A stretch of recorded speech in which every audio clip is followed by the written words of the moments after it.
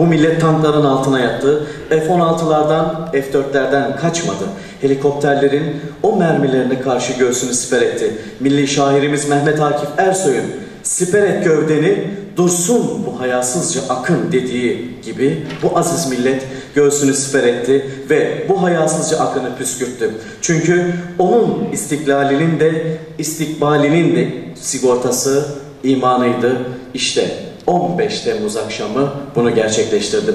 Değerli konuklarımız o geceye tanıklık etmiş gerçek bir tanımız. O geceyi yaşamış bir konuğumuz şu an bizlerle Çanakkale 18 Mart Üniversitesi Teknik Bilimler Meslek Yüksekokulu İnşaat Teknolojileri Bölümü 2. sınıf öğrencisi Ertuğrul Emre Hüsrevi 15 Temmuz gecesi yaşananları sizlerle paylaşmak üzere huzurlarınıza davet ediyorum efendim.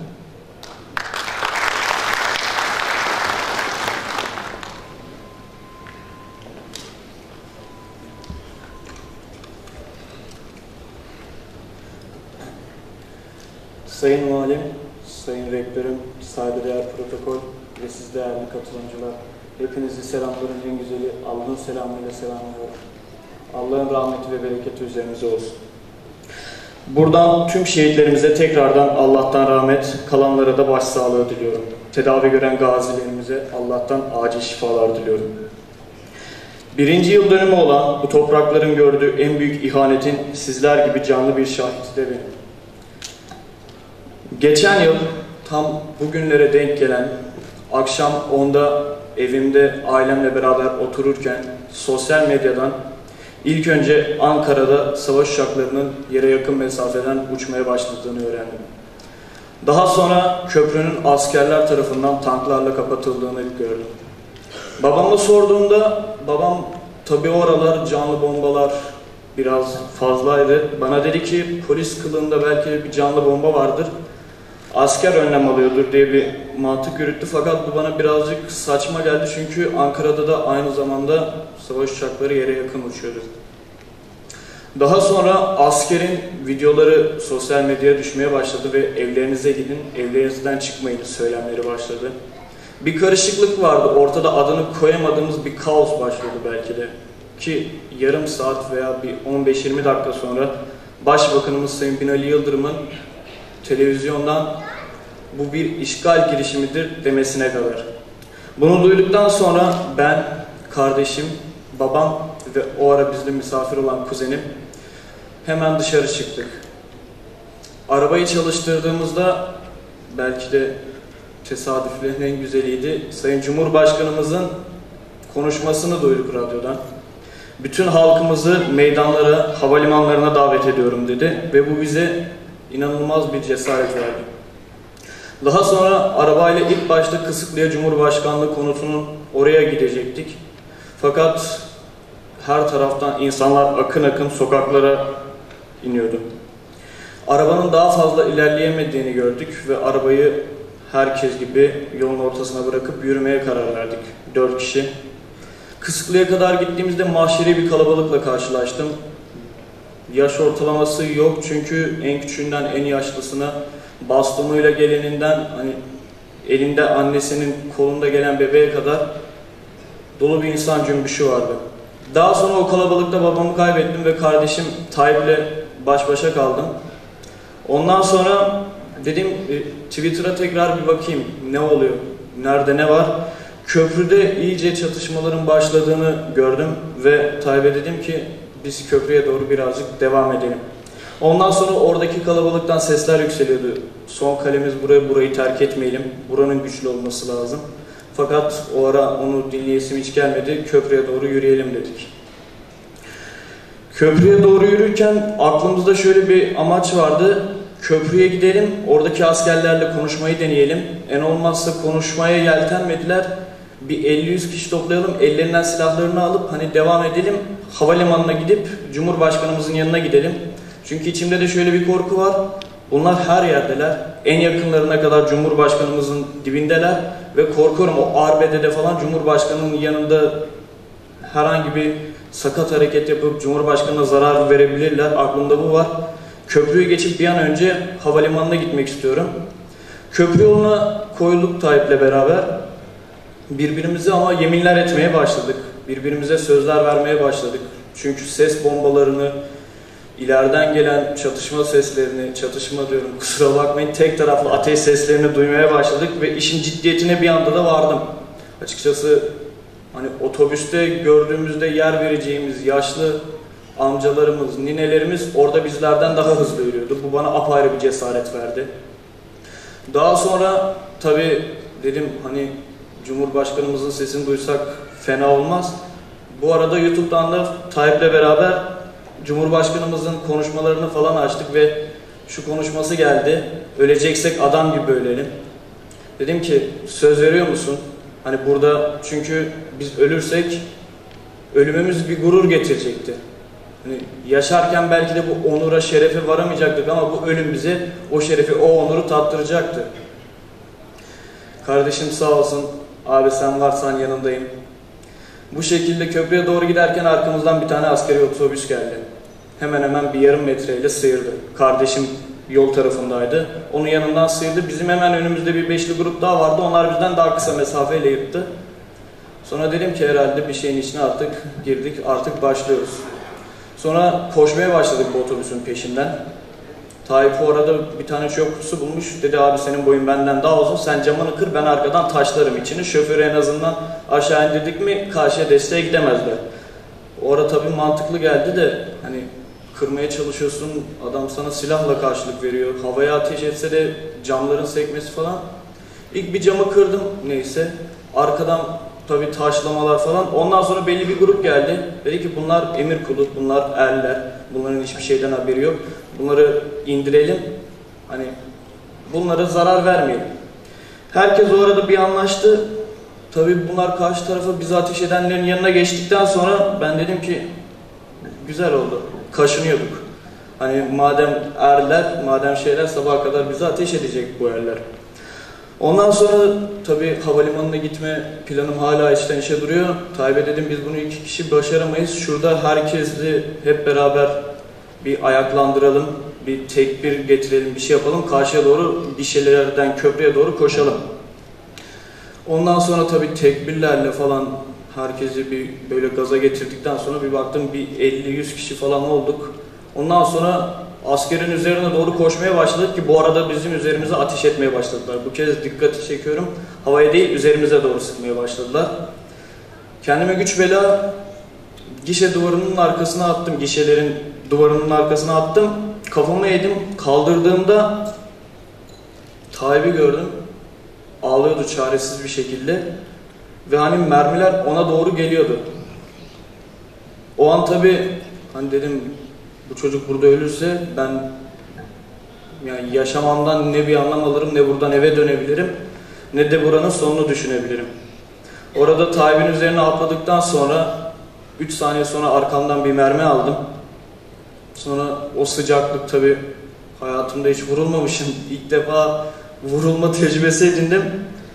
O mermi girdikten sonra 4-5 kişinin üzerime koşmasıyla ve arkamdan akan kanın sıcaklığıyla dedim ki herhalde Emre bir şeyler oluyor şimdi. Belki de hani ölüme yaklaşıyorum, belki de hayalini kurdum, şehitlik mertebesine gidiyorum.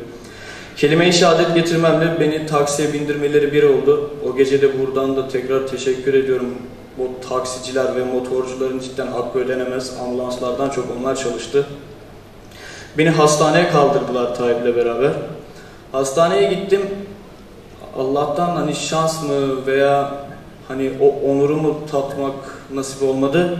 Yerden seken mermi vücuduma temas etmiş. O beni savurmuş. Daha sonra orada yüzeysel pansuman falan yapıldı tabi. Yaklaşık bir yarım saat 45 dakika hastanede durduktan sonra sakinleştiriciler, iğneler falan tedavi, pansuman. Daha sonra beni bir köşeye oturttular. Tayyip'e dedim ki bizim buradan çıkmamız lazım. Ben hani rahat edemedim. Daha bir şey yapamadık. Bizim tekrar gitmemiz lazım. Tabi o ara şöyle bir şey geldi aklımıza. Dedi abi şimdi burası özel hastane. Hani buranın ateşli silahlı yaralama muayenesi ne kadardır falan. Dedim sende ne kadar var? Abi bende 5 lira var dedi.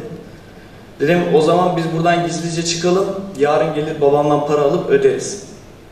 Gizlice hastaneden tabi üzerimde tişörtüm yırtılmış. Tişörtüm elimde. Hala hatıra olarak saklarım. Tişörtüm elimde, Fatih'in omzunda. Yürümeye devam ettim. Hastaneden gizlice çıkardı sağ olsun. Ondan sonra arkadaşlarımla itibata geçti. Onlar da geldi çünkü tek başına taşıyabileceği bir yük değildim. Arkadaşlarım geldikten sonra dediğim şey tekrar köprüye gitmemiz lazım ve bizim bir an önce havalimanına gidip Cumhurbaşkanımızın yanına gidip onu birinci dereceden bizim korumamız gerekiyor dedim. Hani o ara mantıklı geldi bize yaralı yaralı gidelim belki acırlar yaralı gördüler hani az önce vurduğunuz bırakın karşıya geçmesine izin verin diye. Tekrar köprüye doğru yürüdükçe tabii ilk başta yürümekte çok zorluk çekiyordum. Kaburgalarımın ağrısı hani basmakta dahi zorlanıyorum. Ama etraftan gelen o destek, o dualar hani helal olsun vatanımızın evladı hani vurulduktan sonra tekrar gidiyor falan şeklinde destekleri beni duydukça omzum dikleşmeye, göğsüm gerilmeye başladı. Dedim devam edelim biz ya bu iş oldu. Hani bir inanç geldi dedim tamam elimizde silah yok, elimizde hiçbir şey yok. Ama şu destek, şu dualar hatta şu anda bile başıma güzel bir şey geldiğinde anneme babama evde derim ki benim o gece aldığım dualar bir ömür hani yakamdan eksik olmaz Allah'a şükür. Tekrar köprüye doğru yola koyulduk, yürüdük o destekle. En son merhum Allah rahmet eylesin tekrardan şehit Erol Olçoğ'un vurulduğu o ATM'lerin köprüye giderken sol taraftaki orada benle ilgilendiler. Tekrar oturttular. Pansumanımı falan ve şöyle bir o geceye dair cidden beni çok böyle maneviyat olarak zirveye çıkartan bir anım var. Ben orada otururken bir tane yaşlı amca geldi elimi ve ayağımı öpmeye başladı. Bana Arapça bir şeyler demeye başladı. Dua ediyordu büyük ihtimalle ama cidden hızlı hızlı bir şeyler söylüyor. Dualar okuyor. Anne babama dualar okuyor. O arada tekrar bizim üzerimize, üzerimize ateş, ateş edilmeye başladı. Kusura bakmayın. Kafamı eğdim. Hani ateş bitene kadar o arada taksi var. Taksinin arkasına geçtim. Kafamı eğdim. Kafamı kaldırdığımda etrafta o amcayı arıyorum. Tayyip'e dedim amca nereye gitti? Amcayı vurdular mı? Uçtu mu silahın şiddetiyle, ateşin şiddetiyle? Tayyip bana şunu deyince tabii bir şoka girdim. Ne amcası abi? Dedim az önce burada benimle ilgilenen, bana dualar okuyan, elimi ayağımı öpen amcayı görmedin mi? Abi ben öyle bir şey görmedim. Sen ateş etmeye başladıklarında yere kapandın. Sonra da etrafında kimse yoktu zaten. Normal halk vardı. Hani yaşlı birisi yoktu. O gece tabii bunun şeyine varamadım. Bu anımdan iki gün sonra rüyamda ben Kureyş suresini gördüm. Bir hafta sonra da bunu bir abime anlattığımda bana dedi ki kardeşim hani Allah büyük Allah yani sen, sana o gece Hız, Hızır Aleyhisselam gelmiş dedi. Dedim ya hani ne yaptım, ne ettim ki hani bu derece ödüllendirildim ne bileyim bu derece destek gördüm. Tabii ondan sonra o amca olayından sonra o tarafa biber gazı sıkılmaya başladı. Asker bu kez daha uzun menzilli ateş etmeye başladı ve en son zaten ben oradan ayrıldıktan sonra o bulunduğumuz yere tank topu atılmış. Ben oradan gittikten yaklaşık 15 dakika sonra biber gazını da aldıktan sonra tabii bayağı derbeder bir haldeydim. Hani Tayyip'e dedim ki ben buradan havalimanına gidemem. Ben burada destekten çok artık hani bedenim burada köstek olmaya başladı. Gel biz beraber gidelim arkadaşlarım burada kalsın. Zaten hani cephaneleri de biter. Az kaldı zaten özel harekatçılar da gözükmeye başladı. Biz artık eve doğru koyulalım dedik. Eve gittim. Yaklaşık bir yarım saat 45 dakika sonra da o müjdeyi aldık. Köprüyü teslim almışız. Köprüyü darbeci hainlerden temizlediğimizi öğrendim. Ve o gurur, o mutluluk cidden hani oturup televizyonun başında o an ağladığımı hani sonunda ya dedim hani Cumhurbaşkanımız sağ salim evine gidecek. Hani vatanımız bu beladan kurtuldu dedim. Fakat hala tabi adliyelerde yaptıkları affedersin şartlabanlıkları falan görüyoruz. Sözlerimi burada noktalarken buradan Sayın Rektörümüze ve burada buraya gelmeme çok emeği geçen, çok yoğun mesai harcayan Genel Sekreterimize teşekkürlerimi sunuyorum. Hepiniz Allah'a emanet olun. Allah'a emanet olun. Kendinize iyi bakın.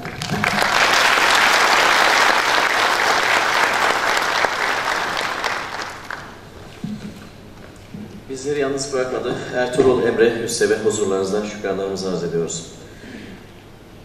Değerli konuklarımız, o gece 80 küsür yaşında bir amca hareketlilik başladan sokağa çıkmak ister. Ailesi der ki baba nereye gidiyorsun? Adnan Menderes'i asıyorlar.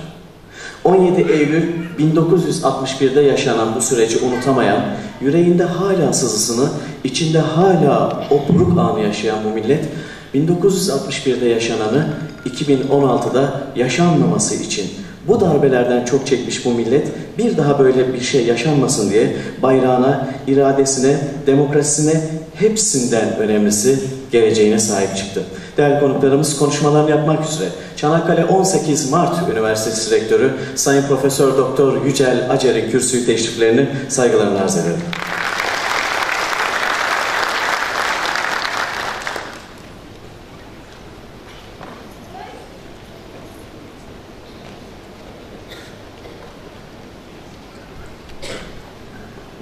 Saygıdeğer valim, değerli protokol mensupları, çok değerli Çanakkale'liler, değerli hocalarımız, sevgili öğrencilerimiz.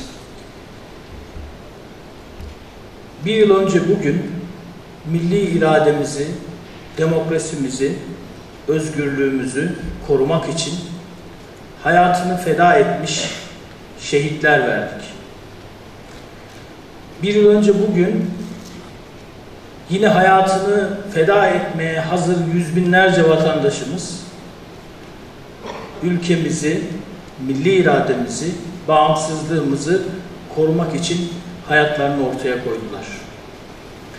Bu ülkemiz tarihinde müstesna bir gün.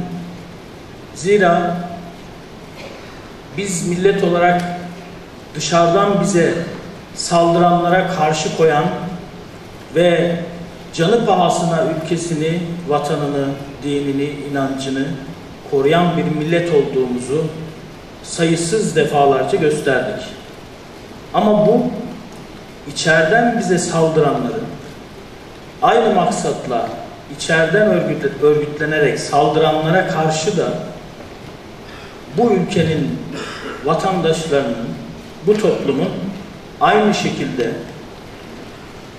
aynı azimle, aynı cesaretle, aynı inançla karşı koyabildiğini gösterdiği bir gün oldu.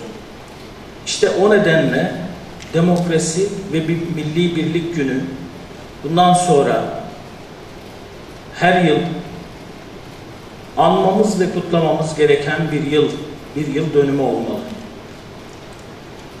Çanakkale 18 Mart Üniversitesi olarak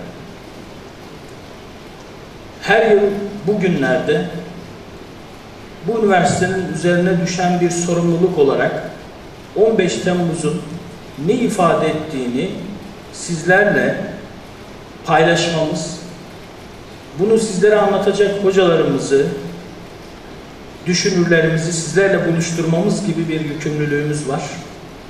İşte bu çerçevede 15 Temmuz'un bundan sonra asıl ne ifade ettiğini, ne dersler verdiğini ortaya koyabilmek anlamında bir panel, panel düzenlemeyi uygun gördük.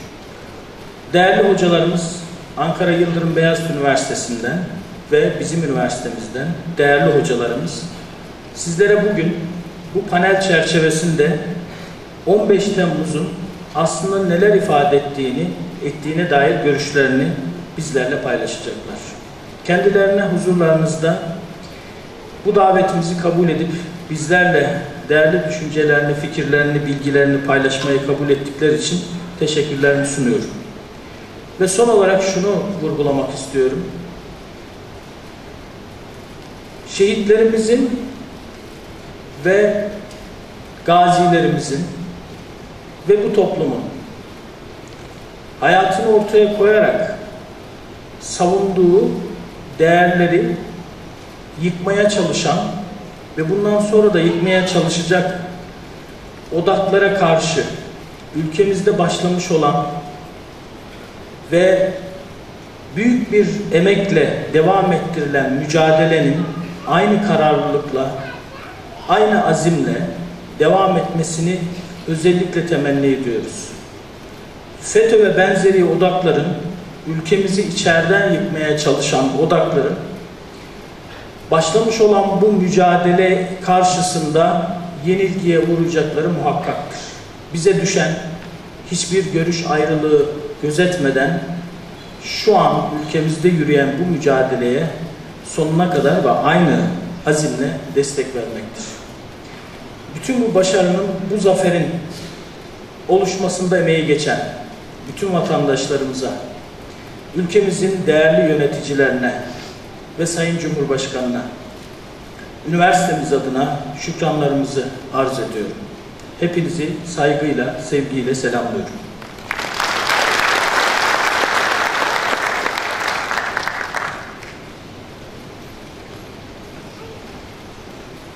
Bizler de Çanakkale 18 Mart Üniversitesi Rektörü Sayın Profesör Doktor Yücel Acer'e şükranlarımızı sunuyoruz.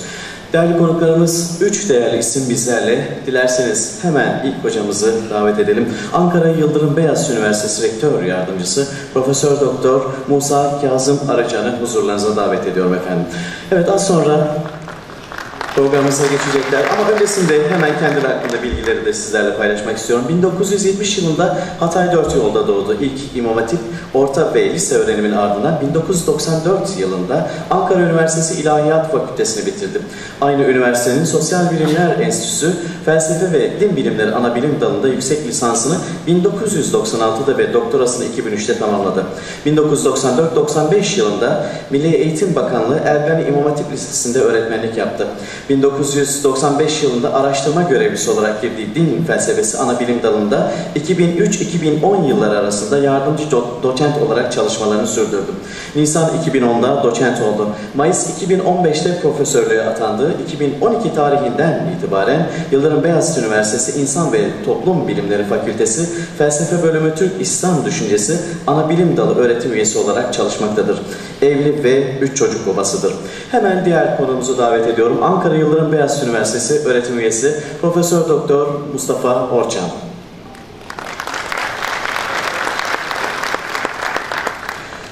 Kahramanmaraş'ta doğdu. İlk ve orta lise eğitimini burada tamamladıktan sonra lisansını Hacettepe Üniversitesi Sosyoloji bölümünde tamamladı. Kırklareli Üniversitesi Sosyoloji bölümünde araştırma görevlisi olarak çalıştı. 1993-99 ve yüksek lisansını burada tamamladıktan sonra 1999-2003 yılları arasında İstanbul Üniversitesi Sosyoloji bölümünde araştırma görevlisi olarak çalıştım. Doktorasını da burada tamamladım. Kırklareli'nde öğretim üyeliğinden sonra 2011 yılından itibaren Ankara Yıldırım Beyazıt Üniversitesi'nde çalışmaktadır. Kısa bir süreliğine Kazakistan Ahmet Yesevi Üniversitesi'nde misafir öğretim üyesi olarak da bulundum. Dünya Çocuk Zirvesi, Geleceğin Şehirleri, 21. yüzyılda Türkiye, bilim politikaları gibi alanlarda ulusal ve uluslararası organizasyonların koordinatörlüğünü gerçekleştirdi. Avrupa Birliği, TÜBİTAK, Ulaştırma Bakanlığı, TOKİ ve Diyanet İşleri Başkanlığı gibi kurumlarda projeler yürütmüş, araştırmacı ve danışman olarak çalışmıştır. İlgili bakanlıkların yaptığı şehircilik, ahlak ve aile şuralarına katkı vermiştir. Hemen diğer konuğumuzu sizlerin huzuruna davet ediyorum. Çanakkale 18 Mart Üniversitesi İlahiyat Fakültesi öğretim üyesi. Doçent Doktor Sayın Hasan Kaptan'ı huzurlarınıza davet ediyorum efendim. Kars'ın Arpaçay ilçesi Taşbaşı köyünde doğdu. 1988 yılında Erzurum İmam Hatip Lisesi'nde, 1993 yılında Marmara Üniversitesi İlahiyat Fakültesinden mezun oldu. Adana'da bir yıl öğretmenlik yaptıktan sonra Milli Eğitim Bakanlığı'ndan yurt dışı lisansüstü bursu kazanarak Amerika Birleşik Devletleri'nde yüksek lisans ve doktora eğitimini tamamladı. Yine bu süre zarfında Amerika'da çeşitli yüksek öğretim kurumlarında din psikolojisi, etik, eleştiriler düşünce ve İslam gibi dersler verdi. 2006 2016 yılında Türkiye'ye dönerek Çanakkale 18 Mart Üniversitesi akademisyen olarak çalışmaya başladı. Yerli ve yabancı dilde çeşitli kitap ve makaleleri olan doçent doktor Hasan Kaplan halen aynı üniversitede din psikolojisi ana bilim dalı başkanı olarak çalışmakta. Ayrıca dış ilişkilerden sorumlu rektör danışmanlığı görevini yürütmektedir. Evli ve ikisi kız, biri erkek, üç çocuk babasıdır. Ve sözü değerli hocalarımıza bırakıyoruz. Sayın Valim, değerli protokol, Çanakkale'nin güzide insanları, hanımefendiler, beyefendiler hepinizi muhabbetle, hürmetle selamlıyorum. Vatanımızın birinci kurtuluş mücadelesinin verildiği Çanakkale'de olmaktan şeref duyduğumu ifade etmek istiyorum. Vatanımızın ikinci kurtuluş mücadelesi olan 15 Temmuz'un Seniye Devriyesi'nde bu anmayı 15 Temmuz Demokrasi ve Milli Birlik Günü'nü Çanakkale'de icra etmekten dolayı da ayrı bir onur duyduğumu ifade etmek istiyorum. Bu vesileyle Çanakkale 18 Mart Üniversitesi Rektörümüz Profesör Doktor Yücel Acer Bey'i, beyefendiyi böylesi güzel bir anma, anlama, bilgilenme toplantısı dolayısıyla ve gerçekten unutmamamız ve unutturmamamız gereken böylesi önemli bir günde icra ettikleri bu, bu program dolayısıyla şahsım ve buradaki panelist arkadaşlarım adına şükranlarımla teşekkür etmek istiyorum. Şükranlarımı sunuyorum. Değerli konuklar, 15 Temmuz hepimizin yaşadığı gerçekten bizatihi şahitlik ettiğimiz tarihi bir an. Biz burada huzurlarınızda konuşmacı olarak bulunan Mustafa Orçan hocamla beraber tabii ki burada birçok arkadaşımız, siz değerli konuklar o günü yaşamışsınızdır. Bizler de Ankara'da çok erken vakitten itibaren anı anına, iliklerine kadar yaşamış insanlarız. Belki yaralanarak gazi olmadık ama o günü yaşamaktan dolayı kendimizi gerçekten böylesi bir günü yaşamaktan dolayı, karşı koymuş olmaktan dolayı bahtiyarda hissediyoruz. Tabi bu vesileyle o gün, o gece şehit olan 250 vatan evladına Rabbimden rahmet diliyorum. Gazilerimize ki aramızda az önce duygularını ifade eden değerli kardeşimiz Emre kardeşimiz gibi hala sağlık sorunu yaşayan gazilerimize de Rabbimden acil şifalar diliyorum. Az önce Sayın Rektörümüz çok güzel bir noktaya temas etti. Bugün bu panelde bura üzerinden yürüyeceğiz. 15 Temmuz ve 15 Temmuz vari hareketlerin tekrar yaşanmaması adına neler yapılmasını konuşmamız gerekiyor. Bunu önleme adına neler yapılması, hangi tedbirlerin, hangi önlemlerin alınması gerektiğini konuşmamız gerekiyor. Her şeyden önce şunu ifade etmeliyiz ki asker elbisesi giymiş, sinsi amaçlarını bu kılıf üzerinden hiçbir şekilde kahraman askerlerimizi temsil etmeyen bu terörist kılıklı insanlar bizim milli birliğimiz var olduğu sürece muvaffak olamayacaklar. Ama şunu biliyoruz ki her ne kadar kendini bu tür araçlarla muktedir kılmak istese de bu hainler asıl darbe bizim kültür hayatımıza vurulmaktadır. Çünkü kültür dediğimiz alan değerli arkadaşlar bizim öz benliğimizdir. Demokrasi bir kültürdür. Siyaset bir kültürdür. Tarih bir kültürdür. inanç bir kültürdür. Aslında kültür bir şemsiye. Kültür yani kök olarak tabi bugün çok e, bilimsel, akademik e, dile ben başvurmayacağım ama şunu hatırlatmak istiyorum sadece. Kültür, agriculture ya da tarım dediğimiz kelime toprağı işlemekten, toprağa tohumun düşmesi anından itibaren ürünün yetişmesi ve o ekinin kemal haline bürünmesini ifade ediyor. Dolayısıyla bir millet olarak, bir toplum olarak bizi var eden tüm unsurlar, inancımız, tarihimiz, siyasetimiz, demokrasimiz, bunların tamamı bizim kültür hayatımız. Tabii 40 yıl sinsice planlar yapan bir örgütün aslında 15 Temmuz son hamlesidir, dışa vurumudur. Bunu hepimiz biliyoruz. Ama bu süreç nasıl buraya geldi? Ne yapılmak istendi?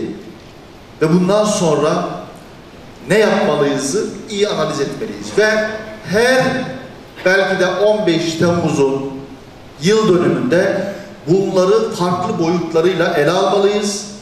Ve bu anlamda her kurumun, her bireyimizin üzerine düşen görevi yerine getirmesi gerekiyor. Tabii kültür üzerinden gidiyoruz. Aslında yapılmak istenen, 40 yıldır yapılmak istenen teknik anlamda inkültürasyondur. İnkültürasyon nedir?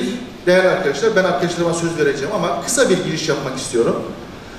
İnkültürasyon bizdenmiş gibi göze, gözükerek yani o hayvana da e, yani haksızlık etmek istemiyorum. Bu kalemun gibi gözükerek kılık değiştirerek bizim dilimizi, inancımızı, tarihimizi kendi sinsi emelleri için kullanma işi demektir. İşte abla kavramını kullandılar, abi kavramını kullandılar, himmet, hizmet kavramlarını kullandılar. Hatta en nihayetinde tabi burada değerli komutanlarımız var, şerefli kahraman komutanlarımız var. Onları saygıyla selamlıyoruz. Asker elbisesi giyerek gerçek niyetlerini, emellerini gizleyerek inkültürasyon yaptılar. İnkültürasyon sadece inanç alanında, sadece sosyolojik anlamda, sadece tarih alanında değil. Demek ki askeri alanda da olabiliyor. Bizim askeri temayüllerimize belki doğru tabir kullanıyor muyum bilmiyorum. Uymak suretiyle aslında o gerçek kimliğini gizleyen bir anlamda münafıkça bir tavır sergilemiş oluyorlar. Dolayısıyla bunun analizini çok iyi yapmamız gerekiyor. Burada çok değerli iki hocamız var. Değerli hocam belki inanç kültürümüz bağlamında değerlendirecek. Çünkü bizim inanç değerlerimiz sömürüldü. Dilimiz üzerinden gidildi. İşte bugün Suriye'de hemen yanı başımızda Mısır'da bu yapılmak istenen bizde yapılmak istenen aslında örnek uygulandı. Öncesinde bu ülkelerde değerli konuklar uygulanan bir operasyon var. Aslında birkaç yıl ya da beş yıl önce yapılan bir sonuçtu. Oradaki darbeler, oradaki belki operasyonlar sonuçtu. Bir defa her şeyden dilleri sömürüldü. Kültürleri sömürüldü.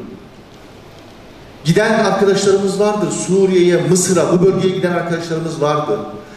O insanların kültürlerinden ne kadar uzaklaştığını görüyoruz. Bugün kızıyoruz. Ülkemizde maalesef yanlış bir algı da yapılıyor. Tabii onlar bize sığınmış muhacirler. İşlerinde yanlış uygulamalar yapanlar olabilir. O ayrı bir konu.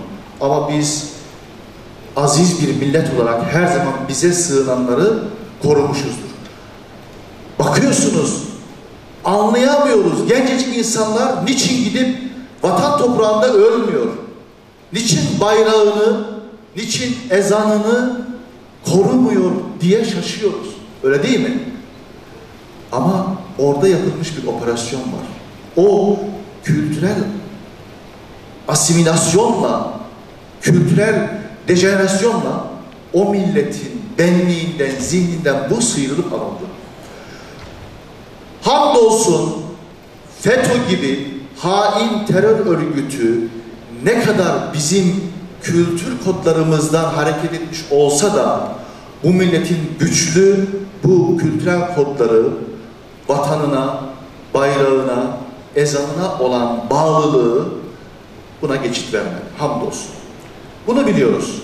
Ama bundan sonra bu tür sinsi yapıların vücut bulmaması için, bu noktalara gelmemesi için neler yapmalıyız? Hakikaten bunlar üzerinde konuşmalıyız. Bu tehditler ve bu tehlikeler bitecek mi? Ben şahsen biteceğine inanmıyorum. Farklı kılıkla, farklı inkültürasyon operasyonlarıyla bu mücadele devam edecek. Nitekim Çanakkale'de yapılan ki bugün biz gezdik, hakikaten iliklerinizde bunu hissediyorsunuz. O gece biz inanın aynı duyguları bugün işte duygularını ifade eden gazi kardeşimizle olduğu gibi abdestimizi alıp vedalaşıp caddeye sokağa indik. Artık akademisyenlik gömleğini bir, bir kenara bıraktık. Hocalık falan unuttuk. Ve bir sekine iniyor. Bugün konuşuyoruz. İşte o Gazi Mustafa Kemal Paşa'nın 57. tümene süngüleri takıp artık size ölmeyi emrediyorum dediği noktadaki duyguyu anlıyorsunuz.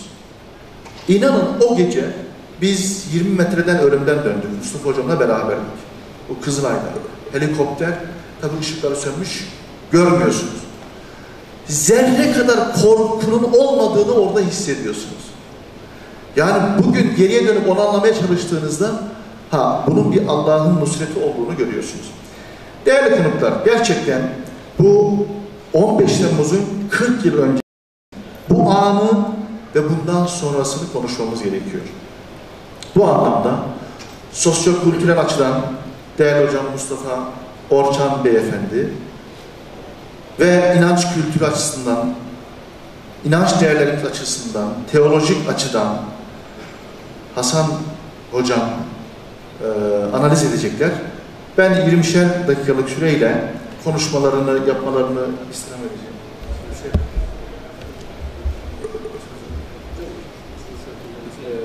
Evet, e, Yıldırım Beyaz, Ankara Yıldırım Beyaz Üniversitesi Sosyoloji Bölüm Başkanımız, aynı zamanda İnsan Toplum Bilimleri Fakültemiz Dekan Yardımcısı Mustafa Orçan Hocam, Profesör Doktor Mustafa Orçan Hocam 15 Temmuz'u bu boyutlarıyla, sosyokültürel boyutlarıyla analiz edildi. Hocam buyurun. Teşekkür ederim Sayın Başkan. Öncelikle ben Malazgirt'ten İstanbul'un fethine, İstanbul'un fethinden Çanakkale'ye, Kurtuluş Savaşı'na ve 15 Temmuz'a kadar olan bu toprakları vatan yapan ve bunun e, uğrunda şehit olan, gazi olan ve olmayan ama destek veren herkesi minnetle ve duayla anarak başlamak istiyorum. Sayın Valim, Sayın Rektörüm, Çanakkale'mizin e, değerli, güzel insanları, e, öncelikli olarak 15 Temmuz'un birçok analizi yapılabilir ama benim üzerimde özellikle durmak istediğim ve bu olaydan sonra da sürekli olarak düşündüğüm, biraz belki de e, alanımı zorlayarak kaydettiğim bir mesele var. Ben onun üzerinde özellikle durmak istiyorum. Eğer 15 Temmuz darbe girişimi gibi dünyanın çok nadir olaraktan yaşandığı bir olayı bir bilimsel olarak akademik anlamda bunu üniversiteye, akademiye kazandıramazsak ben bunu kendi adıma bir sorumluluk olarak hissediyorum, hissedeceğim. Eğer biz bu olayı sadece kendi aramızda e, konuşacaksak, şu şurada yaşandı, bu burada yaşandı ya da ben yaşadım veya da o yaşadı. Bunlar kesinlikle çok değerli, çok anlamlıdır. Ama ben akademisyen olarak e, konuşmak istediğim şey şu. Eğer bunu e, uluslararası ilişkilerde, sosyoloji anlamda, siyaset bilimi anlamında ve diğer ilgili alanlarda kuransal olaraktan bir altyapıyı sağlayıp bunu sunamazsak bence benim adıma büyük bir sorumluluktur.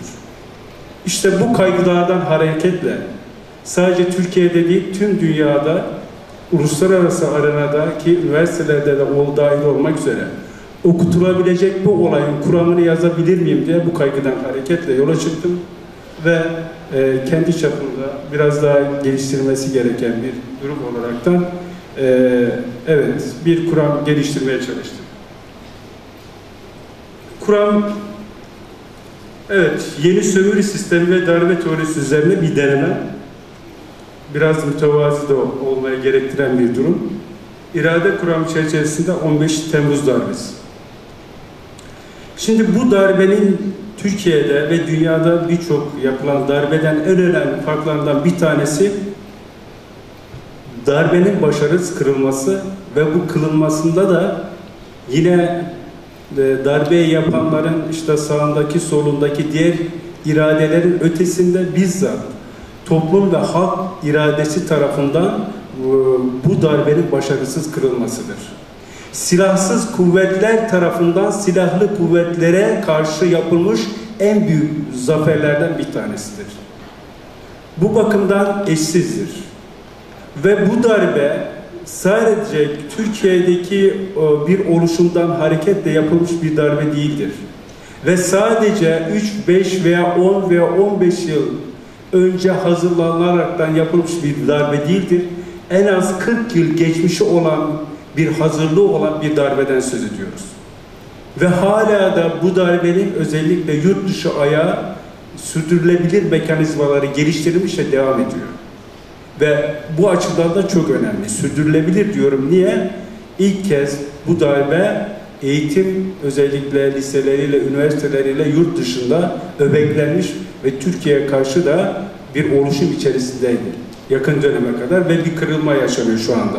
Ama şunu söylemek istiyorum. Bu darbenin en önemli özelliklerinden bir tanesi askeri darbenin ötesinde diğer mekanizmaları da topyekun mekanizmaları da kullanan bir darbedir.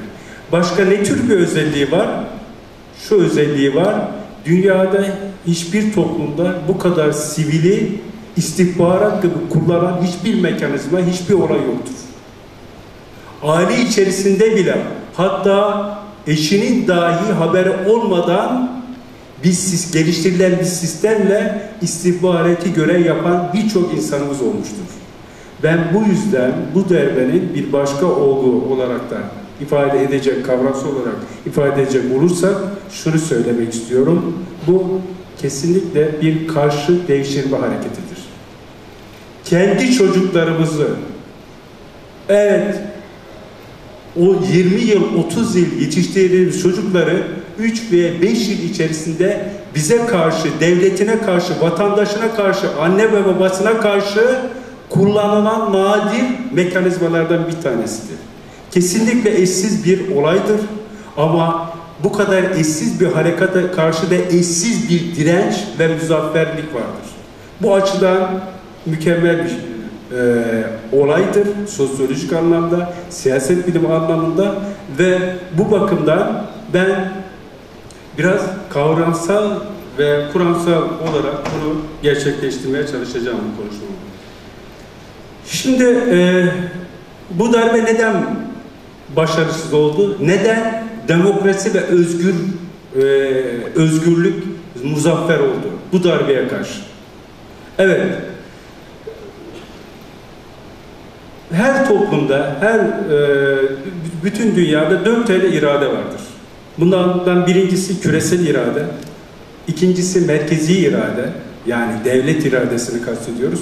Üçüncüsü çevresel idare, irade, bundan dolayı toplumu kastediyoruz ve diğeri de bireysel iradedir.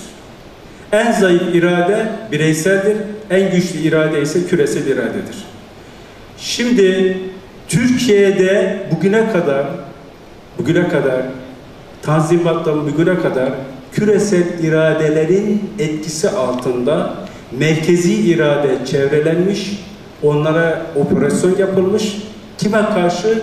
Toplumsal iradeye yani çevresel iradeye karşı.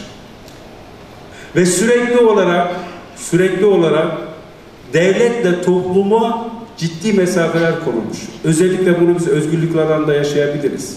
E, konuşabiliriz. Yaşadığımız şeylerdir. Yani çok küçük meselelere Türkiye'de çok büyük meseleler oldu. Şehit olan şehit olurken de kılık kıyafetini sormayan bir yerde eğitim görürken kılık kıyafetini, yaşam tarzını sorur hale gelmiş bir devlet. Ne olacak? Toplumun değerleriyle örtüşmeyen bir devlet merkezle çatışma içerisine girecek. Peki bu kimin içine yarayacak? Asla bu ülkenin işine yaramayacak. Ve bu küresel iradelerin içine yarayacak. Huzursuz bir toplum, kargaşa olan bir toplum, kargaşası bol olan bir toplum onlar için kullanılabilir, her zaman iktidarı değiştirilebilir bir mekanizma demektir. İşte bu yüzden Türkiye'de 15 Temmuz olayına kadar kesinlikle merkezi iradeyle, devlet iradesiyle toplum iradesi örtüştürülmemeye, sürekli bir mekanizma geliştirmeye çalışıldı. Hep araya bir şeyler konuldu, darbe yapıldı. Sadece askeri darbe değil. Darbenin, darbenin de birçok boyutu var. Darbenin, evet, yedi boyutu vardır. Özellikle askeri darbe olana kadar yedi tane aşağıdan geçilmiştir. Özellikle 15 Temmuz olayın dikkate alacak. Nedir onlar? Birincisi ekonomik darbe. Evet, Türkiye e, müthiş bir istikrarsızlığa uğratıldı. 1960 darbesiyle birlikte. 1953 yılında Türkiye dünyada en fazla hububat üreten ilk üç devlet halindeydi. İkinci Dünya Savaşı'na girdiğinde en fazla altın rezervine sahip nadir ülkelerden biriydi. İkinci Dünya Savaşı'nın çıktığında. Ama 1950'ye geldiğinde en zayıf ülkelerden birine haline geldi. Ve ondan sonraki süreçte IMF en önemli ayağıdır. Dünya Bankası en önemli ayağıdır. Küresel iradeler eğer bir toplumu, ülkeyi çökertmek istiyorsa ilk önce ekonomik darbeyle başlar. Ondan eğer ekonomik de başarılı olursa zaten iktidar, siyasal darbe hemen akabinden gelir. Ve bir başka önemli şey arkadaşlar toplumsal darbedir. Evet topluma yapılmış darbelerdir. Bu ahlaki olabilir. Evet bizim aile değerlerimize aykırı özellikle propagandalar. Son dönemlerde biliyorsunuz LBGT falan gibi aile dışı evlilikler çok ciddi olaraktan üzerinde durulan küresel iradeler tarafından bilinçli olarak üretilen bir politikadır. Evet, LBGT'ye karşı bu insanlarımız, sokaktaki insan diğerine karşı herhangi ciddi bir şey yoktur. Tepkisi yani baskısı, darbe filan istisna şeyler vardır. Ama aynı zamanda biz aile eksenli bir yaşam tarzını kabul etmiş bir toplumuz. Eğer aile güçlü olmazsa batıdaki bir durum gibi e, sıkıntılı bir duruma düşmüş olabiliriz. Üçün, e, dördüncüsü kültürel darbe. Az önce hocam da kısmen üzerinde duruldu. Bizim kendi kültürümüzden, Türk olmaklığımızdan, İslam olmaklığımızdan, bu coğrafyada yaşamış olmaklığımızdan kaynaklanan değerlerimiz vardır. Evet, her toplumun değeri önemlidir, biriciktir. Almanyalıların Alman kültürü ne kadar önemliyse Amerikalılarınki, Fransızlarınki ne kadar değerliyse bu ülkenin bu kültürü de en az onlar kadar değerlidir. Evet. Bir başka darbe hukuk darbesidir. Hukuki alanda yapılan darbedir. Anayasa 367 tartışması Cumhurbaşkanlığı seçimlerinde olduğu gibi. Eğer onlar başarılamazsa siyasi alanda eğer devleti, hükümeti değiştiremiyorsanız anayasa yoluyla değiştireceksiniz. Biz bunları birçok e, meşru olaraktan e, parti kuran ve bunu e, sürdürmeye çalışan, meşru üzerinde siyaset yapan birçok partilerin kapanmasından biliyoruz. Evet, DYP'nin DYP olmadığını, Demokrat Parti ile başladığını biliyoruz. Değil mi? CHP hariç bütün partilere bakın, isimleri değişmiştir.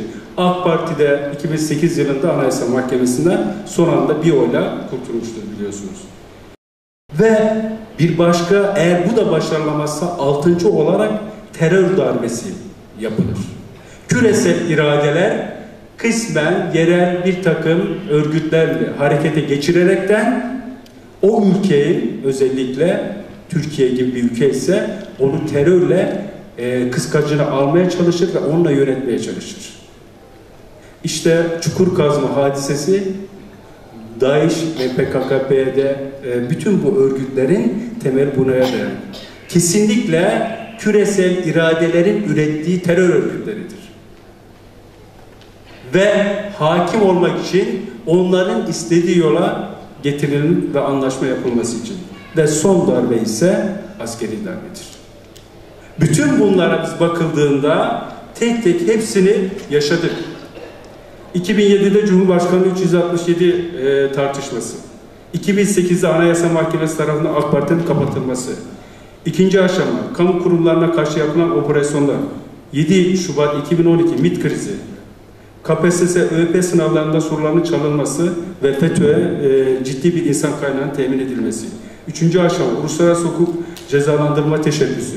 7 Şubat 2012 MİT krizi, 19 Ocak yani aynı zamanda hukukla cezalandırma e, Adana'daki e, yapılan operasyon, özellikle e, e, Suriye'ye gidecek olan e, tırların durdurulması.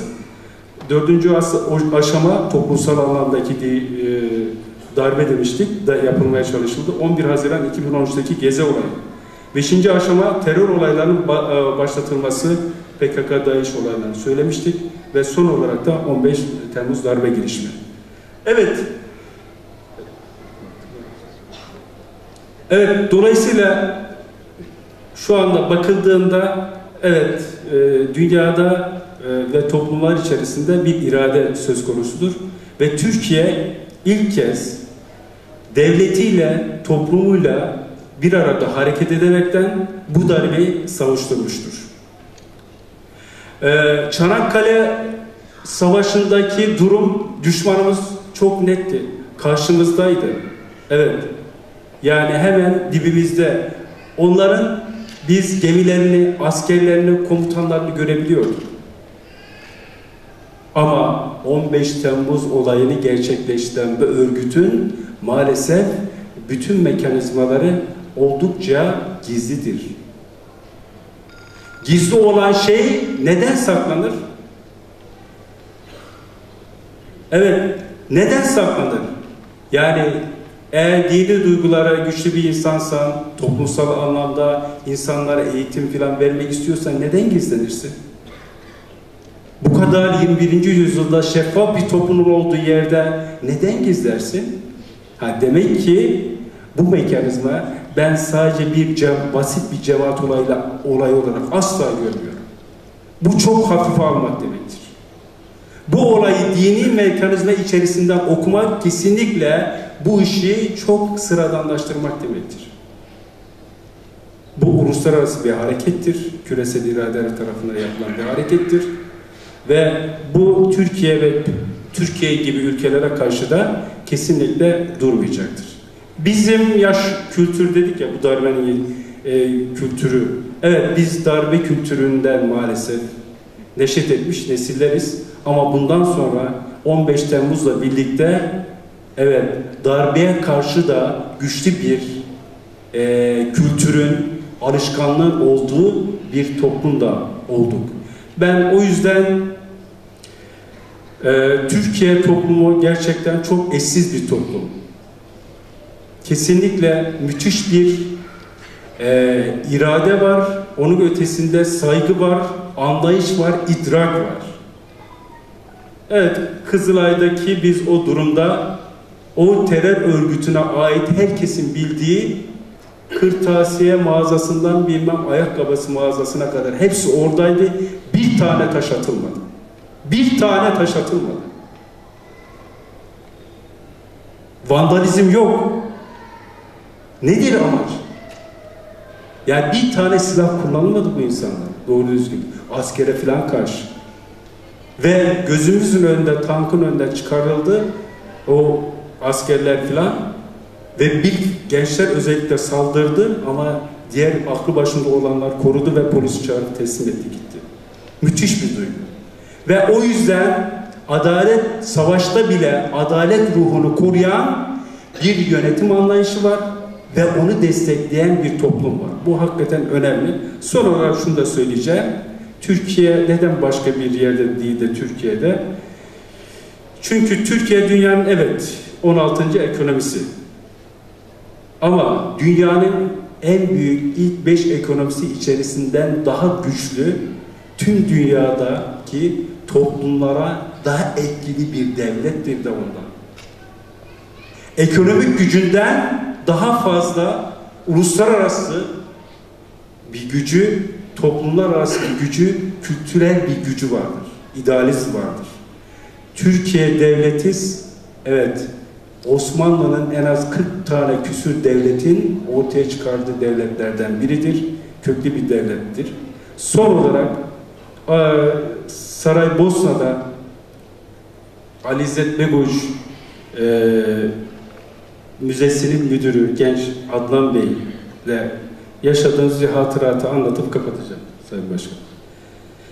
Şimdi e, Ali İzzet Begoviç ile ilgili bir e, dergi bize editörlük teklif etmişti. Ben de bir e, Bosna Hersekli bir arkadaşla birlikte, doçent bir arkadaşla birlikte Ali İzzet Begoviç'in yakın arkadaşlarıyla mülakat yapmak için Saraybosna'ya gitmiştik ve orada Saraybosna'da e, ve Ali İzzet Begoviç'in müdürü Adnan Bey ile konuşuyorduk. Dedim ya ilginç bir olay anlatır mısınız bize? Ee, ne yaşadınız müzedefili? Yani Sırp geliyor işte, e, Arap geliyor, Müslüman, e, Türk geliyor filan. Evet hocam dedi, biz ben ilginç, hiç tarih e, hayatımda görmediğim bir şey yaşadım. İki tane orta yaşlı bir kadın geldi. Ali İzzet Begocu Müzesi'ni gezerken bir ev, özel eşyanın olduğu yerde durdular ve ağlamaya başladılar. Ya, ağlayanlar filan oluyor tabii dedi. Ama bunlar en az 10 dakika hiç durmaksızın ve gerçekten yani herhangi bir rol yapmadan ağlıyorlar. Ve ben dayanamadım. Yani gittim. Hanımefendiler kusura bakmayın yardım edebilir miyim size filan su filan vermeye çalıştım dedim. Sonra biraz sakinleştiler filan. E, sordum siz nereden geliyorsunuz filan. Onlar da Türkiye'den geliyoruz demişler. Niçin bu kadar yani ağladınız kusura bakmayın sorabilir miyim çünkü ilk kez karşılaştım falan demiş. O demiş ki biz Ali İzzet Begoç'u hep görmek istiyorduk yıllardan beri. Srebrenica katliamı, ondan sonra bütün olayları yaşayan, bunu yöneten bir devlet liderine sahipsiniz.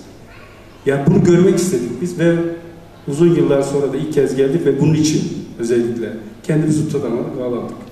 Şimdi bunun ötesinde Adnan Bey'in ondan sonraki yorumu çok ilginçti, değerliydi. Dedi ki Hocam ben bunun üzerine çok düşündüm. Neden? Çünkü hiçbir Bosna Hersekli'de bile görmediğim şeyi sizde gördüm. Ve genelde de Türklerde bu kadar olmasa bile böyle bir şey var. Bunu şuna bağlıyorum. Hocam siz güçlü bir devlet geleneğine sahipsiniz. Ve bir o kadar da devletine sahip değil çıktığınız kadar yöneticilerinize, özellikle liderlerinize de sahip çıkıyorsunuz. Ben ancak böyle yorumladım. Doğru mu diye bana sormuştum. Evet o yüzden gerçekten biz tıpkı Çanakkale'de olduğu gibi 15 Temmuz'da da Allah korusun vatansız kalmakla, bu vatanı başkalarına teslim etmekle karşı karşıyaydık. Hamdolsun 15 Temmuz olayıyla, devletiyle, vatandaşıyla, polisiyle, askeriyle, memuruyla, profesörüyle, bütün insanlarıyla buna karşı konulmuş oldu. Buna hamd ediyoruz.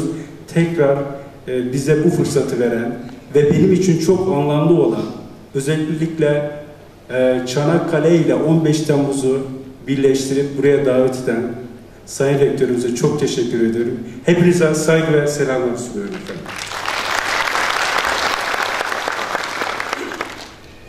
Evet, değerli hocamız Mustafa Orçan Bey'e bu güzel sosyolojik analizleri için teşekkür ediyorum.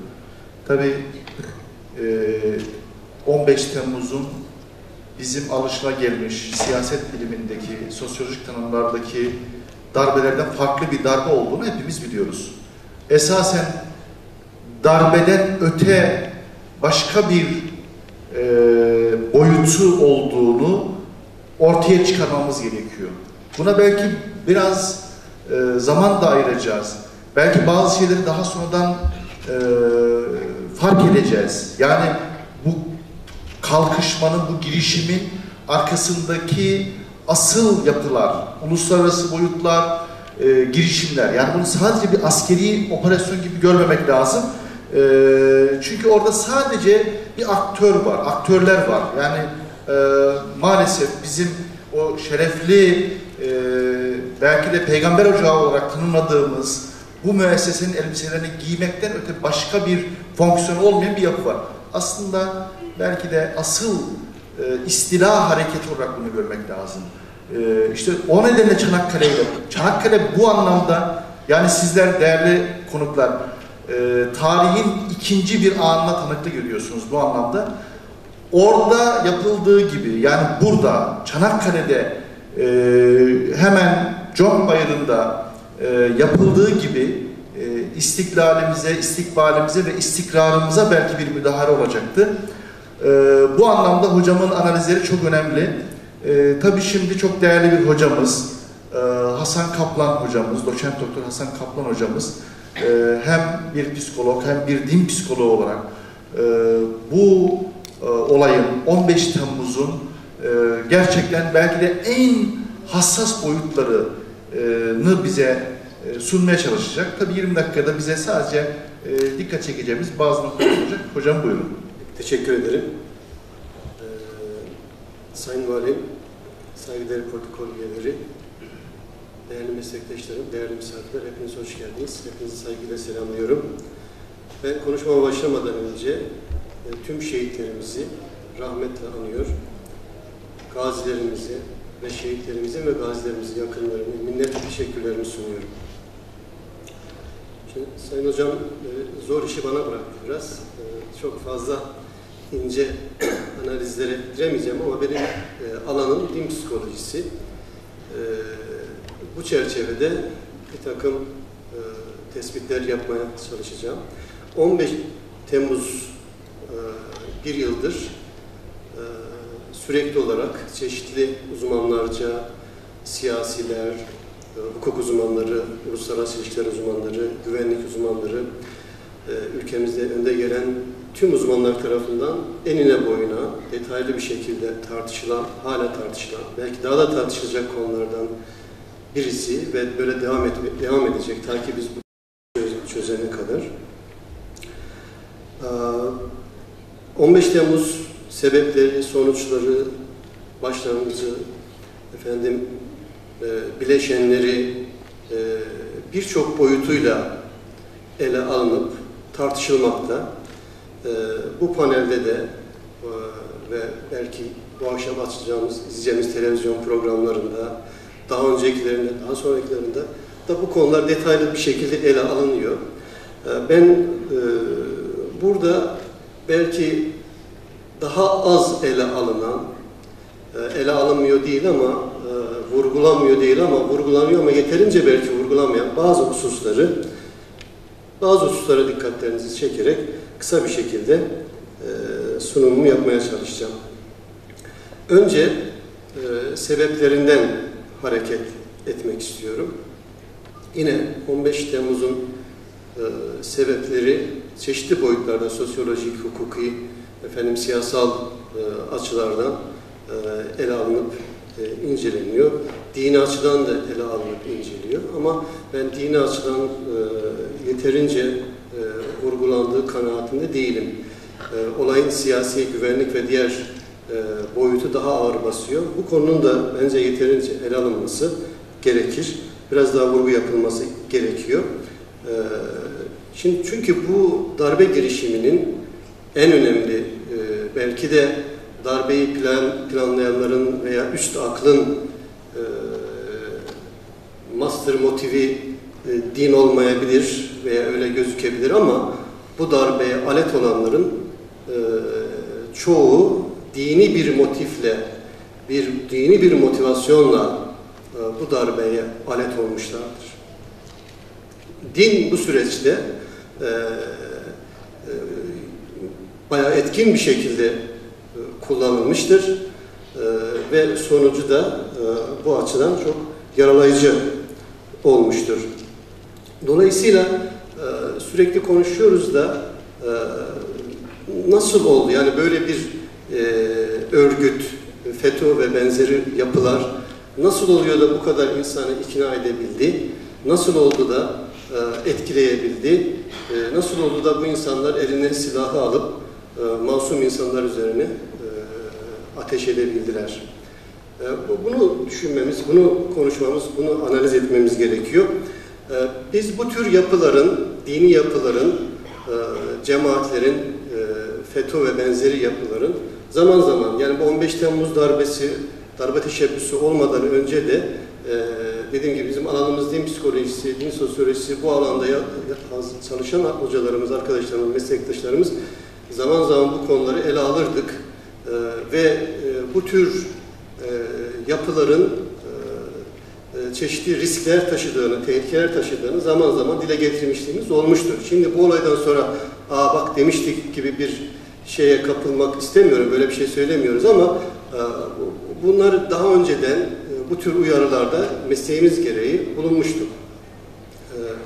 Yani mesela en basit olarak eleştirel düşüncenin veya kritik, analitik düşüncenin eksikliği bu tür yapılar içerisinde en önemli faktördür.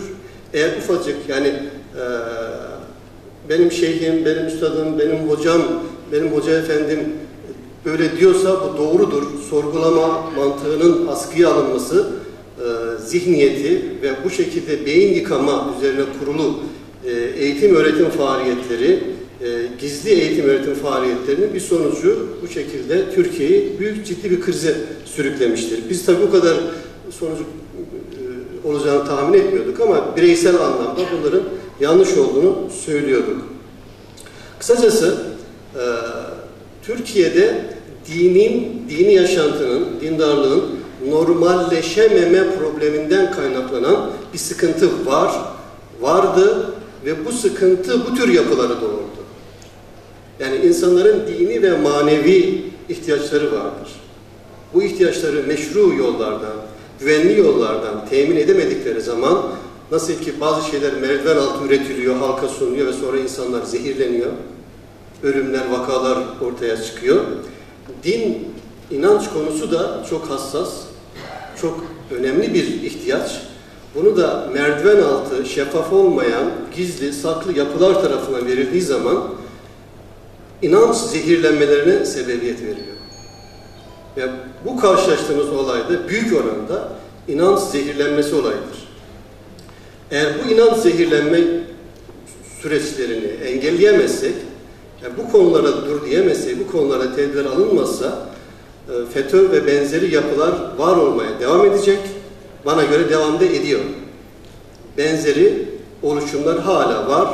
Hala bu konuda yeterince dini hayat, dindarlık normalleşemedi. Hala gayrimeşru ve güvenli olmayan yollar üzerinden insanlar dini konularda bilgi ediniyorlar.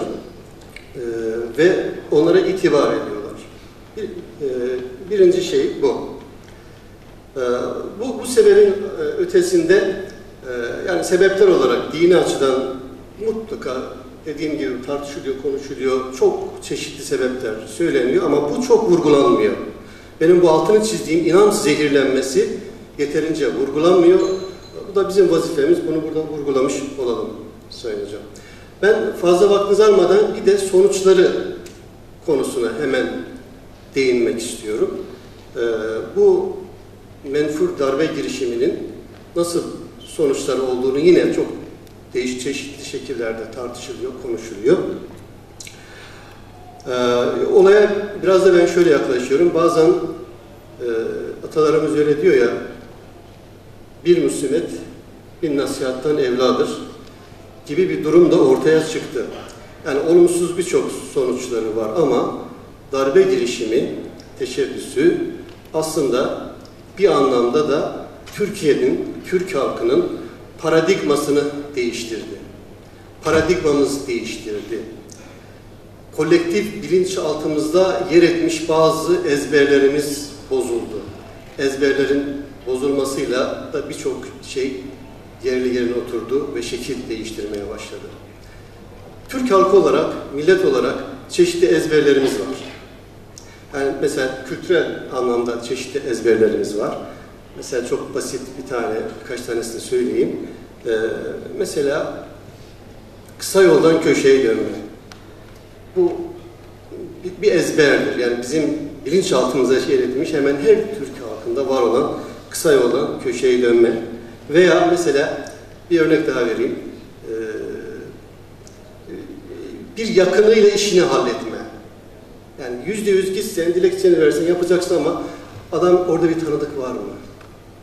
Yani bu, bu Türk halkının, bizim halkımıza has e, ezberlerden bir tanesi. Veya misafirperverlik, olumlu ezberlerimiz de var. Böyle bu tür ezberlerimiz var. Bu ezberlerden bazıları bozuldu. Darbecilik de bu ezberlerden birisiydi. Yani Türk halkının, e, halkımızın e, bir darbe korkusu, e, efendim buna yönelik bir takım endişeleri, kaygıları vardı. E, 15 Temmuz olayıyla bu ezberde bozuldu. Yani bu halk e, sokağa çıkamaz, işte e, darbeye e, direnemez, e, bu tür şeylere karşı gelemez diye bir ezber vardı.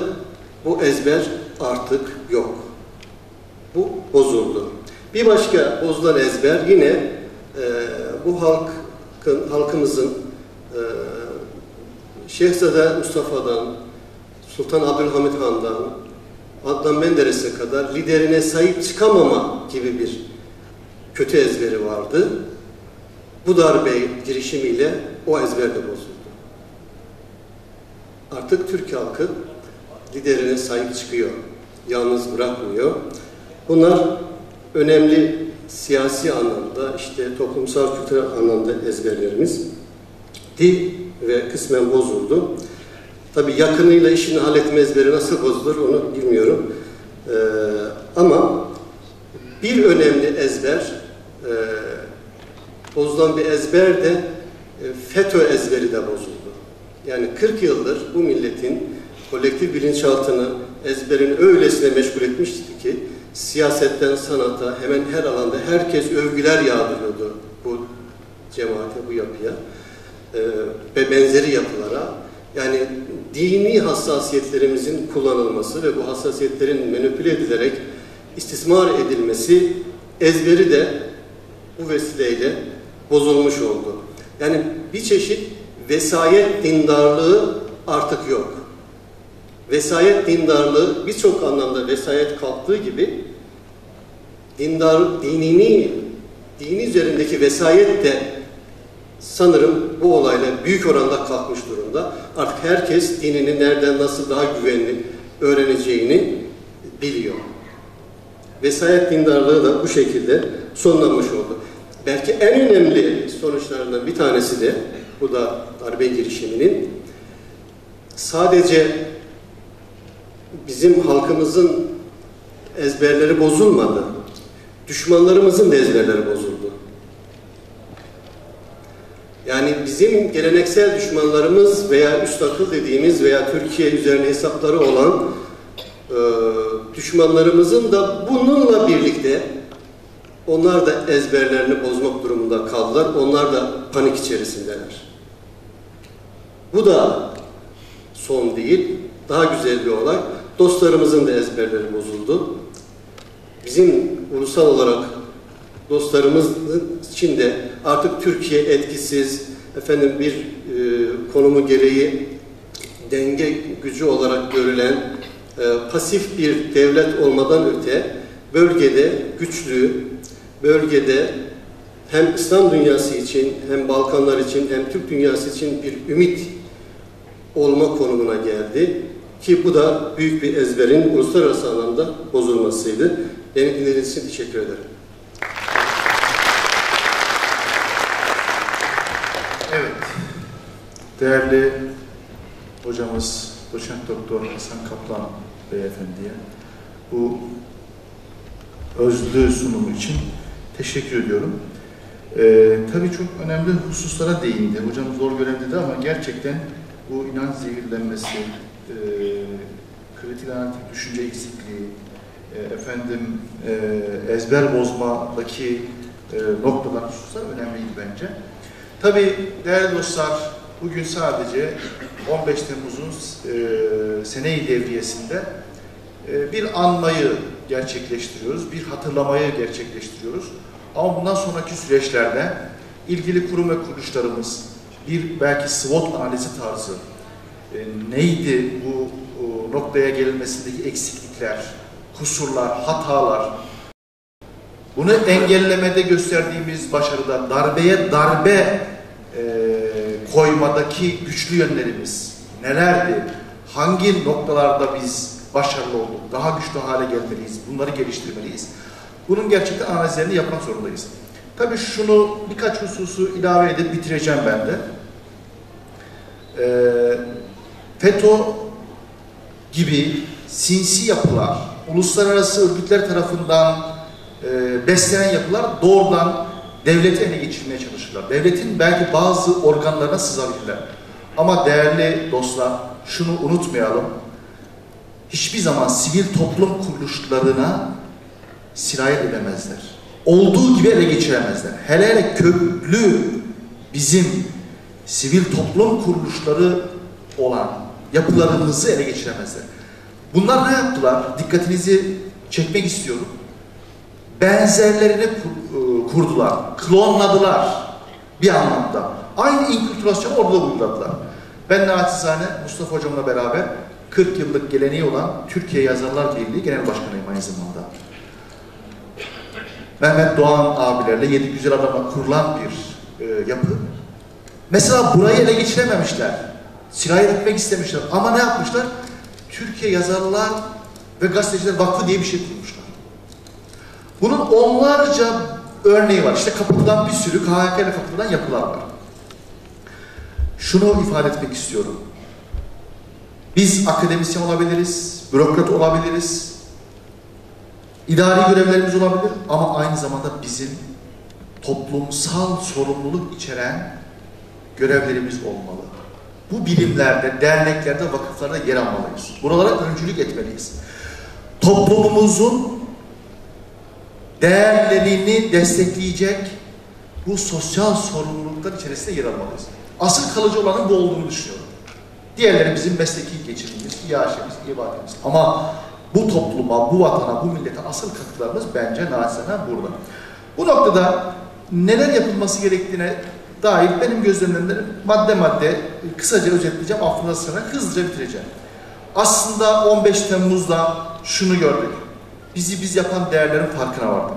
Medeniyet kodlarımızı hatırladık. Kültürümüzün önemini kavradık, bilinçlendik, kenetlendik. Gerçekten az önce hocam çok güzel ifade etti. Mustafa hocamın da o darbelerle gerçekleştirilmek istenen şeyin aslında işte o ezber bozan tavırlarını gördük. Bu millet küllerinden de doğabilecek bir yapıya sahip. O anlamda medeniyet değerlerimizi daha işlevsel kılmak adına adımlar atmalıyız. Bu anlamda çok çalışmalıyız. Gerçekten tembelliği, tefrikayı, ayrılığı, gayrılığı bir kenara bırakmalıyız. Çanakkale destanını Bedir'in aslanlarıyla özdeşleştiren Mehmet Akif'in bu millete dair tanımında bir şey var arkadaşlar. Şu tembelliği diyor, cehaleti ve yanlış tevekkül anlayışını, kader anlayışını bir kenara bırakalım. Bu anlamda gerçekten gençlerimizi çok daha fazla çalışmaya teşvik etmeliyiz. Evet, duygusallıklarımız çok, hamasetlerimiz çok, kahramanlıklarımız çok ama aynı zamanda bilimsel anlamda çok daha güçlü adımlar atmak zorundayız. Bununla beraber toplumsal barışı her alanda kurumlarımızda, iş yerlerimizde, mahallemizde, şehrimizde, siyasetimizde, ticaretimizde, eğitimimizde vesaire her alanda gerçekleştirmek zorundayız. 15 Temmuz bizi gerçekten birleştirdi. Biz demek yeri geldiğinde kadınıyla, erkeğiyle, çocuğuyla, genciyle, yaşlısıyla, işçisiyle, memuruyla, amiriyle bunu ortaya koyabiliyoruz. Kültürün önemini fark ettik. Kültür, bilinç ve zihin inşa etmede çok önemli. Bunu gördük. İnsan bilimleri, sosyal bilimler, kültür bilimleri bu anlamda bizim birliğimizi, dirliğimizi, dayanışmamızı arttıran alanlar. Bu alanlara daha fazla yatırım yapmak zorundayız. Sayın komutanımızla az önce e, beklerken bu anlamda işte değerli hocamla beraber sosyal bilimlerin e, daha güçlü kılınması adına çabalar e, sarf edilmesi, belki iş dünyamıza, iş adamlarımıza da belki bir sosyal sorumluluk düştüğünü dile getirmiştik.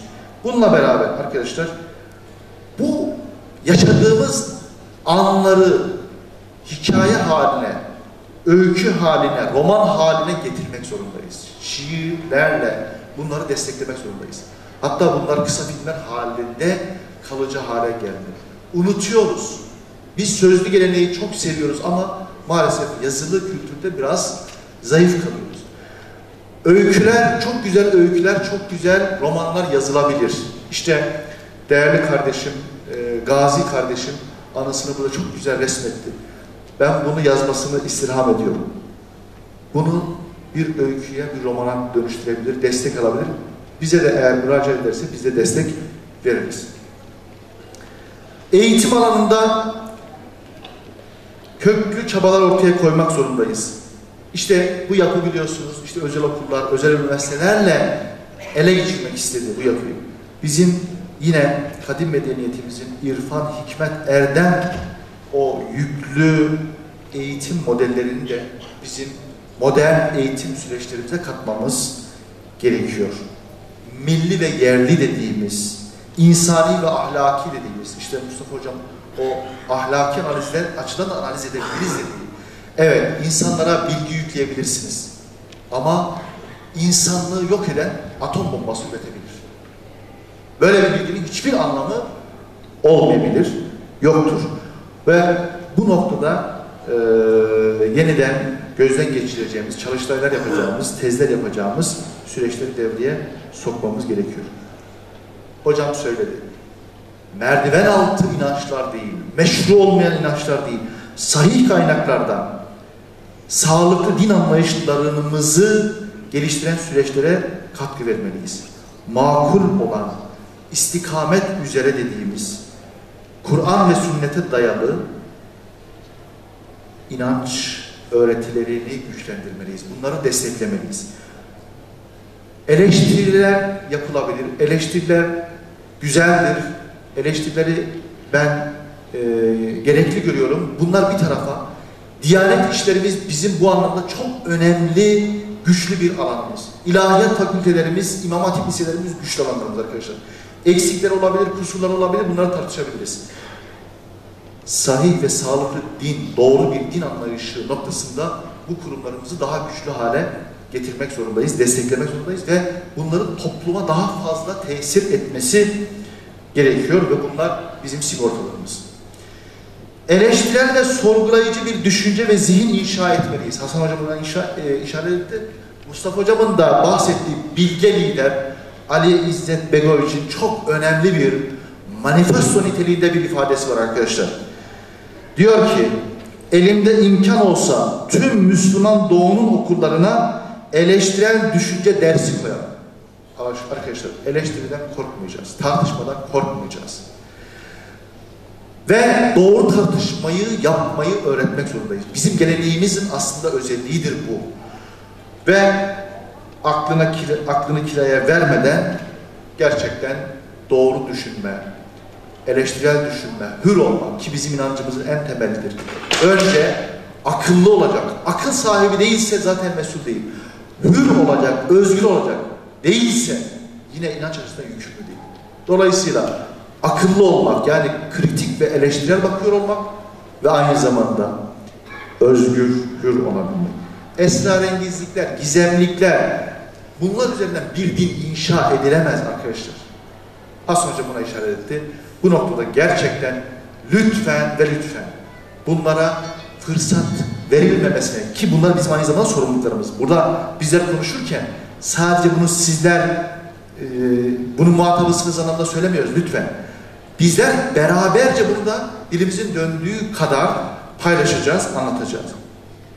Ve değerli arkadaşlar şunu da öğretmek ve öğrenmek zorundayız. Çalışmadan, haksızca, hak yiyerek, kul hakkına girerek bir şey elde etmenin bu kültüre, bu geleneğe, bu inanca uymadığını da öğreteceğiz. Elinin emeğinden daha kutsal bir şey olmadığını söyleyen bir kültüre ve inanca sahibiz. Soru çalarak, sorular vererek, efendim araya aracılar koyarak bir yerlere ancak bu kadar gelir. Sonunda bu iflas edecektir. Buna ilahi adaletle rıza göstermeyecektir. İşte biz evlatlarımıza dürüstçe, hakkaniyetli, adaletli bir şekilde çalışmasını, gayret etmesini, yarışmasını önereceğiz ve bizler de bulunduğumuz yerlerde bu tarz bir yöntemi hayata geçireceğiz. Evet, bu vesileyle ben de 15 Temmuz'u gerçekten anlama, anma fırsatı elde ettiğimiz ve gerçekten az önce Mustafa Hocam da dedi, ülkemizin, vatanımızın, milletimizin ve aynı zamanda belki de İslam coğrafyasının, Türk dünyasının ayakta kaldığı Çanakkale'de bunu Seniye Devriyesi'nde icra ediyor olmaktan ve ben de burada bulunmaktan dolayı şeref yabım ve bu fırsatı verdiği için değerli rektörümüze, Profesör Doktor Yücel Acer Bey'e şükranlarımı arz ediyorum ve gerçekten değerli protokolü, başta Sayın Valim olmak üzere bırakmadılar. Bu da sizin yüceliğinizi, erdeminizi gösteriyor, değer verdiğinizi gösteriyor. Ve değerli konuklar, beyefendiler, hanımefendiler, değerli hocalarım adına ve dilleri döndüğü kadar gerçekten çok güzel şeyleri bizlerle düşünceleri paylaştığı için hocalarım adına sizlere burada bulunmanız ve bizlere kulak vermeniz dolayısıyla şükranlarımı, minnetlerimi sunuyorum. Hepinizi hürmetle, muhabbetle selamlıyorum.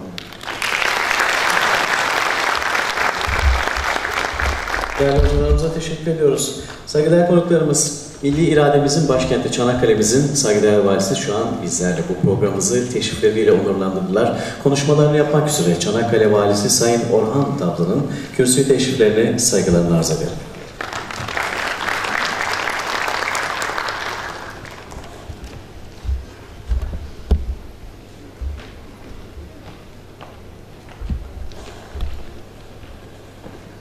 Saygıdeğer Çanakkale'liler, çok kıymetli, çok saygıdeğer öğretim üyelerimiz, değerli mesai arkadaşlarım, öncelikle sizleri saygı ve muhabbetle selamlıyorum. Tabi Gazi kardeşimiz burada 15 Temmuz'u yaşadığı, duygularını anlattığı, anılarını anlattığı, hocalarımız, saygıdeğer öğretim üyelerimiz çok güzel bilimsel tespitlerde, analizlerde bulundular. Ben de bu vesileyle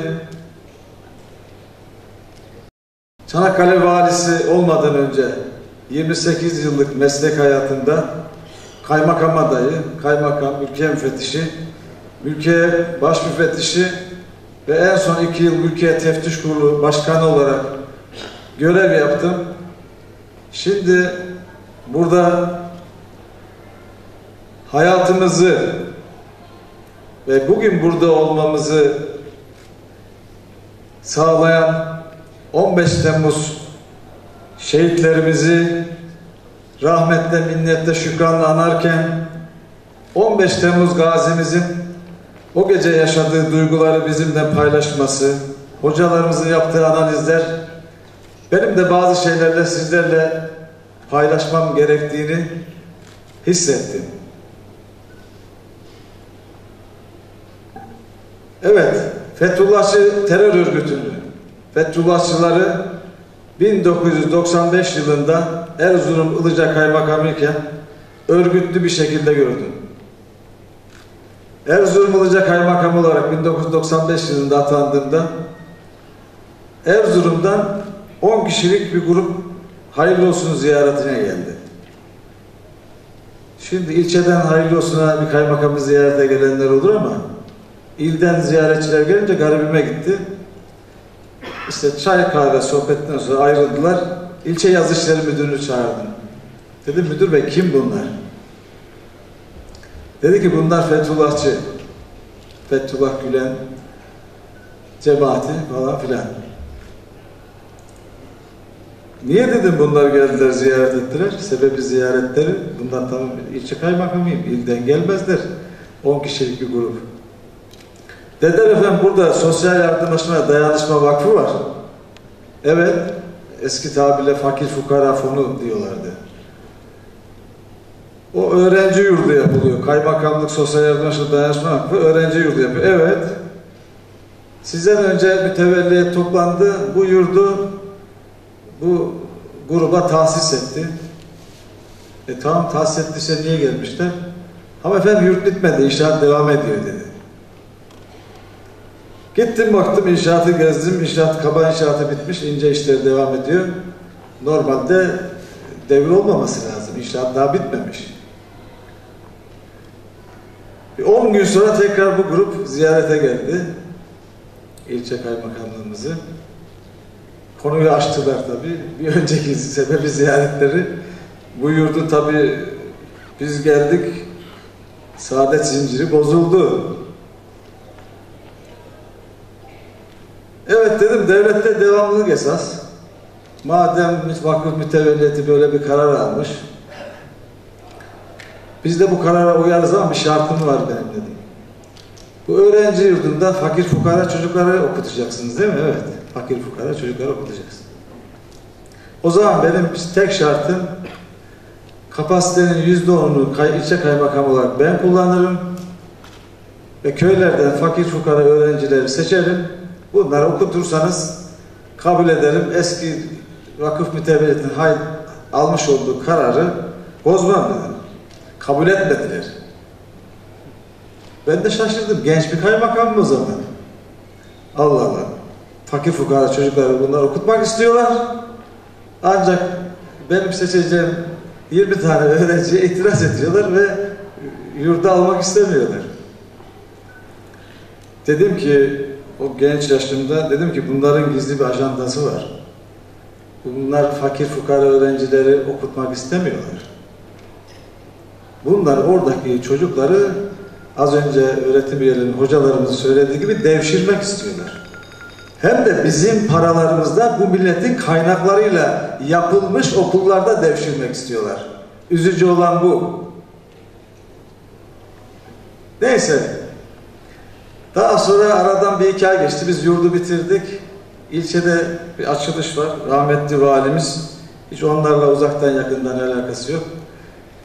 Bir açılış töreniydi herhalde. Orada Kaymakam Bey'e teşekkür ediyorum. İşte o yurdu şu gruba verdi falan diye. Allah Allah ne diyor dedim. Bana emrivaki yapmaya çalışıyorlar. Onu anladım. Vermedim orayı. Ben dedim oraya çalıştırırım. İlginç de bir yer şimdi. Erzurum Ilıca'da yurt yapmışlar, yurt başlatmışlar. 500 tane öğrencinin okuyacağı şeker öğrenci yurdu var. Bu üniversite öğrenciler için. 250 kontenjan boş. 2000 kişilik yatılı okulumuz var. 1000 tane öğrencimiz var. 1000 tane kadro boş. Ama bunlar fakir fukara fonundan yurt inşaatı başlatmışlar. Ya bunlara baştan verecekleri belli. Biz şimdi, şimdi burada tabii 15 Temmuz'a nasıl geldik? Onu ben anlatmak istedim. Daha sonra bunları ben tabii 1988 yılında mesleğe girerken önümüzü kesmek için bunlar iftiralarda bulmuş. O zaman bu yapıları bilmiyoruz tabii. Biz güldük geçtik. Daha sonra tabii Ankara'ya gideceğiz, müfettiş olacağız. Öyle bir niyetimiz var. Yine o 88'deki iftiralar 99 yılında da devam ediyor. Yine bu yapı farklı şeye bürünmüş. Neyse muvaffak olamadılar. Geldik Ankara'ya. Ankara'da 2005 yılında bunlar karşımıza çıktı. Öncesinde tabii görüyoruz bazı şeyleri de. Şimdi bunlar bir kamu görevlisini görevden almışlar. Yerine bak kendi adamlarını oturtturmuşlar. Bu kamu görevlisi tabii idari yargıya gitmiş.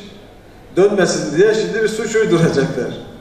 Kişi o kurumda dört sene çalışmış. Sanki hiçbir şey yap, bulamamışlar gibi kumpas kurmaya çalışmışlar. 2005'te gördüm ben bunu. Tabii o zaman bu görev bana gelince baktım göreve. Birinci gün ilgiler ifade baktım kumpas kuruluyor. Tabi o zaman kumpas tabiri bilmiyoruz. Sehven oluyor, şu oluyor, bu oluyor. O tabir daha sonra çıktı ortaya. Tabi raporu hazırladık. Burada dedik önceki alınan dönmesin diye bir suç isnadında bulunuyorlar. Biz dedik ki burada suç yok.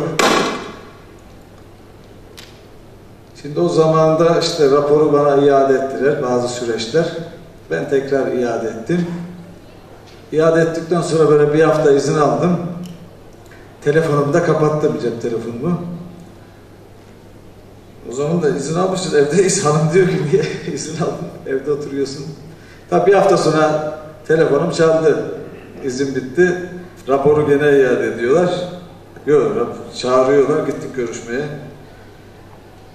Şimdi dedim ki böyle amacınız ne? Suçun olmadığı yerde insanlara suç mu isnat etmeye çalışıyorsunuz? Bir kamu görevlisi bir yerde dört sene çalışıyor da onun herhangi bir yanlışı yok. Siz diğer kamu görevlileri kendi elemanlarınızla, örgüt elemanlarınızla suç uydurmaya çalışıyorsunuz. Dedim ki kusura bakmayın. Hakkında suç yoktur, suç işlememiştir diye rapor düzenlediğim kişi beni telefonla aradı. Ben dedi mülkiye müfettişlerinin böyle olduğunu bilmiyorum dedi. İşte süreci biliyor. Onları iade ediyor, biz geri iade ediyoruz. Bir mücadele var. Tanımadığımız şahısla ilgili. Biz hakkın hukukun mücadelesini verdik. Türkiye Cumhuriyeti vatandaşlarının hakkını, hukukunu, devlet hakkını, hukukunu koruyalım diye mücadele verdik. Daha sonra bu yapılar işte 2007-2008 bizim teftiş kurulunda mülkiye müfettişleri kıdem sırasına göre 6 aylığına yurt dışına giderler. Bizim sıramız gelmiş. Ben şimdi kendime göre bir alan seçiyorum. Dediler ki veririz onlar farklı bir alanda araştırma yapmamı istediler. Şimdi gittik Amerika'ya. Baktık. Evet devşirme, devşirilmiş çocuklar. Bu memleketin çocuklarını müthiş memleketin kaynaklarıyla devşirmişler. Orada Emniyet Teşkilatı'ndan çocukları, gençleri gördük. Onda 18 Mart Üniversitesi'nden de bir iki öğretim üyesi vardı. Şimdi o, o öğretim üyesi ihraç edilmiş ve cezaevinde. Şimdi bakıyoruz. Evet güzel. Dini duygular ön planda. Bazı sohbetler yapılıyor. Bunlar 2007 ya da 2008. Darbelerden darbe olacak falan diye böyle bahsediyor. Ya dedim ki böyle bir ortam yok. Siz bunu nereden çıkarıyorsunuz? 2007 ya da 2008. Dedim ki bunlar nereden çıkıyor? Nereden biliyorsunuz? Türkiye'de öyle bir ortam yok ki. Tabi algı operasyonu böyle yaratılıyor. Daha sonra sohbet anında bir şey konuşuyor. Dedim ki ben aklımı kiraya vermem. Öyle deyince sanki çok ağır bir kelime söylemişim gibi ortalık buz gibi oldu. Orada öğretim üyesi arkadaşlar da vardı. Tabii şimdi hocam az önce dedi ya aklımı kiraya kiraya vermemek lazım haklı. Orada tesadüfen söylenmiş bir sözdü benim için. Ama çok ağır geldi arkadaşlara. Demek ki akıllarını kiraya vermişlerdi. Maalesef çok üzücü. Daha sonra tabii geldik. Herkesin siyasi görüşü, fikri, dünya görüşü olabilir. Doğrular, yanlışlar değişebilir. Farklı düşüncelere sahip olabiliriz. Daha sonra tabii Türkiye'ye döndük. Biz şimdi Mülkiye Teftiş Kurulu müfettiş olarak görev yapıyoruz. Buradan emekli oluruz diye düşünüyoruz. Çocuklarımızın eğitimi, öğretimiyle uğraşıyoruz, ilgileniyoruz. Tabii bir taraftan Türkiye'de yaşanan şeyler var. Ben İstanbul Siyasal 87 mezunuyum. Takip ediyoruz tabii olanları. İçimiz cızlıyor.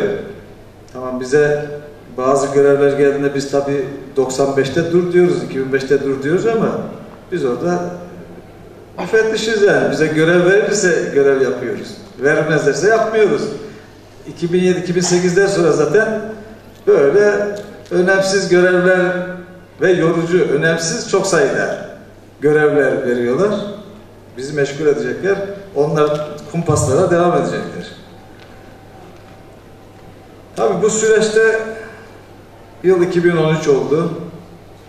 Tabii mücadele başladı. Aslında 2011 HSYK seçimleri 2010 şeyinden sonra mücadele başladı. Onlar ülkeyi ve devleti, sivil siyaseti, bürokrasiyi, Türk milletini, Türkiye Cumhuriyeti'ni, devletini yıkabilecekleri bütün enstrümanlarını eline almış diye zannettiler kendilerini ve kendi ajandalarını takip etmeye başladılar. Biz de tabii bu şeylere bakarken Bir de baktık bunlar her yerde karşımıza çıkıyorlar. Yine karşımıza çıktılar. Tabii fazla da uzatmak istemiyorum ama şimdi değerli kardeşim Gazi kardeşimi burada görünce o duygularını paylaşınca hocalarımız duygularını paylaşınca ben de bir şeyler söyletme, söyleme ihtiyacını hissettim. Bayramdı. 17-25 Aralık sonrası bizi devlet denetlemeye geçici uzman olarak görevlendirmişlerdi. İki ülke müfettişi arkadaş. Usulsüz dinlemeler. Meşhur diye bu. Usulsüz dinlemeler. İnsanların mahremlerini, telefonlarını dinlemişler. O yetmemiş. insanların telefonlarını dinlemişler. Dinlemişler, dinlemişler. İnsanlarda herhangi bir suç yok. Bu sefer başka şeyler uydurmaya başlamışlar. Baz istasyonlarını değiştirme, telefon oyunları. Bunu şimdi TİB'de usulsüz dinlemeler incerken gördük yani. Şunu anladım, ben müfettişken göreve gittiğimde gittiğim yeri falan kimse bilmezdi. Görevle ilgili konuşmazdım. Ben fazla konuşmayı da sevmem. Şimdi tabi dikkat ediyoruz her şeyi.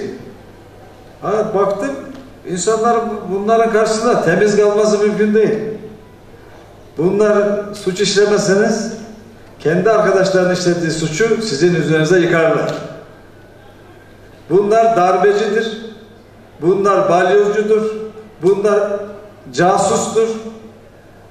Bunlar uluslararası suç örgütünün maşasıdır.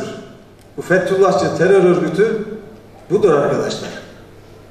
Şimdi bu yaşananlar tabi medyada, televizyonda takip edilince sanal ortamda oluyor. Film gibi geliyor insanlara. Ama biz yaşayan arkadaşları gördük. Yaşayanlarla beraber mücadele verdik. Şunu gördüm. Evet, usulsüz dinlemelere bakıyoruz. TİP'de, devlet denetlemede, emniyetin değişik kademelerinde, devletin bütün kılcal damarlarına girmişler. O zaman mücadele ederken böyle parmakla sayılacak insanlar vardı 2014'te. Bir gün Ramazan bayramı, bayram tatili tabi 9 gün değil, arada Perşembe Cuma boşluk var. Biz geçici uzmanız, kimse bize sormuyor zaten. Geliyor musunuz, gidiyor musunuz falan diye. Biz kendi gayretimizle bir şeyler çıkarmaya çalışıyoruz. Ünye'deyim, Ordu'dayım. Normalde tatil hep memlekette geçiririm.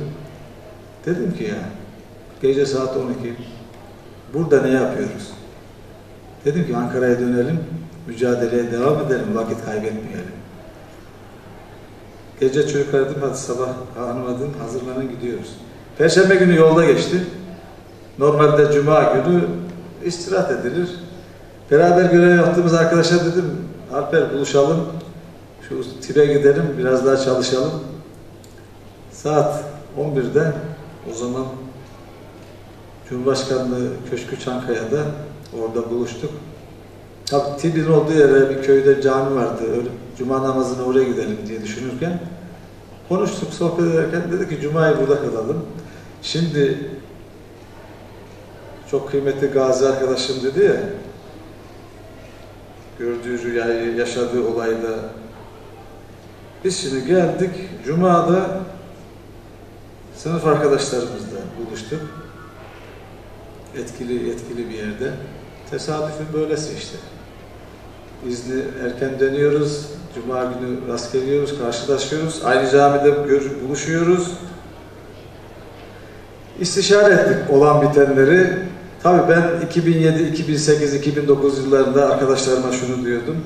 Bakın bunlar uluslararası bir şebeke. Bu şebekenin amacı önce askeri bürokrasiyi, sonra sivil bürokrasiyi, sonra da sivil siyaseti yok edecek. Bunların niyeti bu. Çünkü e, biz şimdi tarih dersleri okuduk. Siyasalda şeyi okuduk. Çanakkale ruhunu, Çanakkale zaferini biliyoruz. Bu emperyalist ülkeler şimdi 90'da İngiltere'ye gittik. 2007'de Amerika'ya gittik. Uluslararası şebekeyi görüyoruz yani. Onların bize olan hıncı bitmemiş ki. Bizim medeniyetimizi yıkmak için her şeyi yapıyorlar. Cuma günü sohbet ettik, istişare ettik. Pazartesi günü Mülkiye Teftiş Kurulu Başkanı oldum. Tabii 2013'te ben mücadeleye başladığımda çocuklarıma ve eşime dedim ki ben bir kavgaya giriyorum, mücadeleye giriyorum. Haberiniz olsun, herkes dikkatli olsun. Şimdi teftiş kurulu başkanı olunca çoğu arkadaşlarımla paylaştım bunları, sohbet ettiğimizde İçişleri Bakanlığı'nda 25 sene, 20 sene mülkidare amirliği yapmış arkadaşlar hiç tanımıyorum. Bir mülkiye müfettişi, 17 sene mülkiye müfettişliği yapmışım. Evimden işe, işimden evime görev verildiğinde göreve gidiyoruz. Öyle fazla sosyal çevremiz falan yok. Geldiler, o masaya güvenimiz geldi dediler. Omuzlarımız kalktı dediler. Ben hayret ettim. Ben Türkiye Cumhuriyeti vatandaşıyım. 30 yıllık mülki idare amiriyim. Böyle bu duyguya hiçbir zaman kapılmadım. Bunlar en güçlü olduğu zamanda bile kapılmadım. Aziz Türk milleti de kapılmadı. Niye? Bu milletin bürokratik olarak yükselme, makam mevki, para pul derdi yok ki. O vatanını, devletini, milletini seviyor. O bunlardan korkmaz. Ancak hocamın dediği bir beklentisi olan, bir şeyler kazanmak isteyen, sonuç almak isteyen, böyle adamlarla şey yapar. Baktım hakikaten arkadaşlar 17 5 Aralık sonrası 2010 2014'ün Eylül ayı gibi, Eylül Ekim baktım bir hafta şöyle dosyalara bir baktım ürperirsiniz. Bunların yaptıklarını hiçbir insan yapamaz. Fethullahçı terör örgütünün tetikçiliğini yapan mensupları, uluslararası şebeke bir de paralel devlet yapılanması var. Bunların kendi insanına, kendi meslek, meslektaşlarına yaptığını insan yapamaz yani. Baktık bu şebeke yine çalışıyor. Bir hafta içinde eski İçişleri Bakanımızla istişare ettik. Şimdi ben burada vatanını, milletini, bayrağını şartsız ve koşulsuz düşünen, hiçbir gruba mensup olmayan, aklını kiraya vermeyen Mülkiye Teftiş Kurulu'nun kahraman yiğit mülkiye müfettişlerin huzurlarınızda şükranlarımı sunuyorum. Onlar, ben Mülkiye Teftiş Kurulu Başkanıyım, o raporlar onlar imza attı. O suç örgütleriyle mücadeleye biz başkan olduk. Benden önceki dönem Erzurum'da seminer düzenlemiş, mesleki semineri. Bana nasip oldu Erzurum'da teftiş kurulu başkanı olarak semineri biz yaptık. Şimdi 195 kişilik bir grup var Mülkiye Teftiş Kurulu. Bir mesaj vermem lazım. 5 kişiyle 10 kişiyle mücadele yürümez. Dedim ki orada uzun konuşmadan sonunda Mülkiye Teftiş Kurulu bürokrasinin içine sızmış suç örgütlerine karşı sivil siyasetin, milli iradenin, Türkiye Cumhuriyeti Devleti'nin ve Türk milletinin emrindedir dedi. Şimdi baktığım zaman bir grup başka yerde oturuyor. Bir, zaten şeyler, şekiller belli olmuş. Oturma şeyine göre görüyorum şimdi müfettişlerin durumunu. Mücadeleye girecekler. Tabii bunu ayakta alkışladı. Tabii bir taraftan da oturduğumuz sohbette ya başkanım diyorlar bunu nasıl söylüyorsun falan. Mücadele, suç örgütleri. Tabii örgüt şimdi vatandaşlar belki bilir. Bürokrasinin içindeki mülkiye müfettişleri bilir bu yapının suç örgütünün gücünü. Neyse oradan başladık mücadeleye. Arkadaşlar hakikaten şunu hep düşündüm. Yukarıda Cenab-ı Allah, aşağıda Türk milleti olduğu sürece bu devleti yıkacak hiçbir güç yok. Mümkün değil.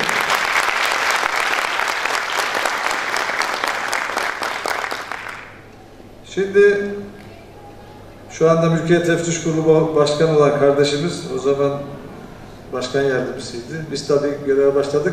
Bürokrasiyi bilen, paralel devlet yapılanmasını bilen, o yapıya hizmet etmiş olan kişiler geliyor şimdi bizim gardımızı düşürecek, mücadele azmimizi kıracak. Diyorlar ki ya çok zorlu bir dönemde, zor dönemde bu işi yapıyorsun. Gücü bunların bu. Ben keyif alıyorum dedim. Ben şundan keyif aldım. Hakkı, hukuku, mazlumun, mağdurun hakkını, hukukunu korudum. Hukuka uygun iş yaptık. Hukuk çerçevesinde suç örgütleriyle mücadele ettik. Cenab-ı Allah'ın bizi mahcup etmedi. Onlar kendi defterini kendileri dürdü. Kendi iplerini kendileri çekti. Ben o gruba sempatizan olan işte bazı dini duygularla sempatizan olanlara şunu söyledim ülke teftiş kurulu başkanıyken diyordum bakın arkadaşlar tek tek böyle baktığım zaman böyle masum gözüküyorsunuz ama birileri size talimat verdiği zaman otomatik pilota bağlanıyoruz dedim. Bu nasıl bir şey? Tabi mücadele 10, 20, 30, 50, 70, 80 insanlar şunu gördü. Bunların yaptığı suçları gördükçe insanlar şaşırdı. Ülke müfettişleri de. Bir insan bunu nasıl yapabilir? Bir, yani gariplerine gitti onların yaptığı şeyler. Tabi onların bilmediği bir şey vardı. Hesap edemedikleri bir şey vardı. Konuşuyorlardı. Bizi mücadeleden geri çevirmek isteyenler darbe olur, darbe olacak, şöyle olur, böyle olur. Arkadaşlar bürokratik oligarşi var. Ben şimdi müfettişken bürokratik oligarşi tartışması olurdu ya. Nedir bürokratik oligarşi? Oraya başkan oturunca anladım. Bu bürokratik oligarşi yıkılmalıydı. Öyle bir yapı, bürokratik yapı oligarşi darbeler kurmuş ki orada milletin iradesi mümkün değil yansımıyor. Arkadaşlarımız mücadeleye girdi. Kendi aramızda konuşuyoruz. Ölümle oynuyoruz diye. Tabi bazı arkadaşlarımıza belli etmiyoruz. Şimdi. Başkan, başkan yardımcısı Mülkiye Teftiş Kurulu'ndaki arkadaşlarımız onları alınlarından öpüyorum. Gerçek vatanseverleri, ülkesine, bayrağına bağlı olan ülke müfettişleri alınlarından öpüyorum. Şükranlarımı arz ediyorum. Onlar ölümle de oynadılar, kumpası da bozdular. Bunlar öyle bir şey ki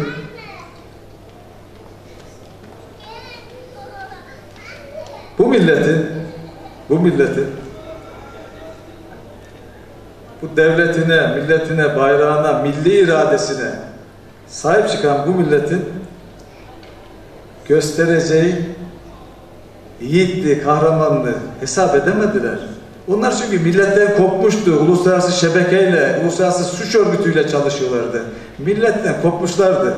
Ben şunu dedim.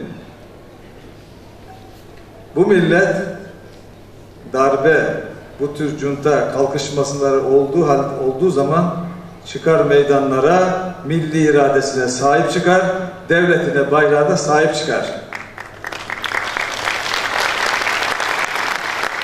Sözü fazla uzatmak istemiyorum. Hocalarıma saygısızlık yapmak istemiyorum. Şimdi tabi 15 Temmuz şehitlerimizi rahmetle, minnetle anıyorum. Gazilerimize sağlık, afiyet diliyorum. A acil şifalar diliyorum. Şimdi 15 Temmuz'u bu millet asla unutmaz. Bu millet 60 darbesini de unutmadı, 70'i de unutmadı, 28 Şubatları da unutmadı, 12 Eylül'ü de unutmadı, Onlara da nezaket çerçevesinde ders verdi. 15 Temmuz 2016'da öyle yaptı. Türk bayrağıyla meydanlara çıktı. Bu millet öyle bir asil millet. Onun göstermiş olduğu tepkiyi de ona yakışır bir tepki. Bayrağını alıyor. Onun çünkü gönlünde vatan sevgisi var, kalbinde iman var. O bayraklarla Sayın Cumhurbaşkanımızın çağrısı üzerine milyonlar meydanlar aktı ve onlar bizim hayatımızı kurtardı. Ben şunu ifade etmek istiyorum kısaca. Şimdi Çanakkale'de olmak. Ben tabi baktım 15 Temmuz 2016 tabi herkes gerçeği anladı. Bunların hiç bu kadar böyle darbecilik silahı kullanacağını herkes mücadeleye girdi. Ben dedim ki ama bize artık bundan sonra biz görevimizi yaptık. Dinlenelim diye böyle düşünürken baktık Çanakkale, Çanakkale anlamlı bir yer. Çanakkale valisi olduğunda Mülkiye Teftiş Kurulu vatansever mensupları benden daha fazla sevindiler. Anlamlı bir şehir diye. Ve Cenab-ı Allah'a şükrediyorum. Geldim o gün. Boğaz komutanımız vardı. Beni ziyaret etmişti. Ben de iadeyi ziyaret ettim. O gün denizciler günüydü herhalde. Deniz kuvvetleri mi? Denizciler günü mü? Orada baktım. Kahraman Türk subayları. Evet onlar 15 Temmuz'da da mücadele verdiler. O hainlere, satılmışlara o karargahları, kışlaları teslim etmek etmemek için en büyük mücadeleyi gösterdiler. Türk Silahlı Kuvvetleri'nin o kahraman mensuplarına huzurlarınıza şükranlarımı arz ediyorum.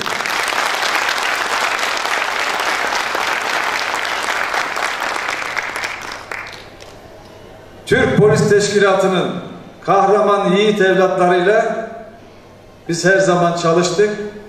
2013, 14, 15'te o isimsiz kahramanlar var, isimsiz kahramanlar. Onları bilmez kimse. O isimsiz kahramanlar makam, mevki, hiçbir beklenti içinde olmadan çalıştılar ve bu suç örgütünü yıktılar. O kahraman Türk Polis Teşkilatı'nın mensuplarınızda saygıyla, şükranla yad etmek istiyorum. Huzurlarınıza şükranlarımı arz ediyorum kendilerine. Jandarma Teşkilatımızın, Sahil Güvenlik Teşkilatımızın çok kıymetli mensupları, vatanına, milletine sahip çıkan, bayrağını seven, onlara 15 Temmuz gecesi o alanları dar ettiler. Bunlar öyle meydanı boş bulduklarını zannettiler ama milletiyle beraber olmuş, aziz Türk milletiyle beraber olmuş, askerimiz, polisimiz, jandarmamız, sahil güvenliğimiz, sivil bürokratlarımız hepsi bir oldular. Tek bir yürek oldular. Hepsi birlikte Türkiye oldular. Bu satılmış hainleri hak ettikleri cezayı verdiler diyor. Ve kimse unutmasın. Kimse de bundan sonra böyle şeylere tevessül etmesin. Artık Türkiye Cumhuriyeti Devleti kurum ve kuruluşlarıyla bu suç örgütüyle mücadelenin yöntemini de öğrendi. Yargı mensuplarımız hukuk çerçevesinde suç işleyenleri gerekli cezayı veriyorlar. Ben en son olarak şunu sizlere paylaşmak istiyorum. Cenab-ı Allah'ım Türk, Türk milletinin yar ve yardımcısı olsun diyorum. 15 Temmuz Cumartesi günü Milli Birlik yürüyüşünde hep birlikte çoluk çocuğumuzla birlikte Milli Birlik yürüyüşünde akşam 8'de buluşmak dileğiyle diyorum. Saygı ve sevgilerimi sunuyorum.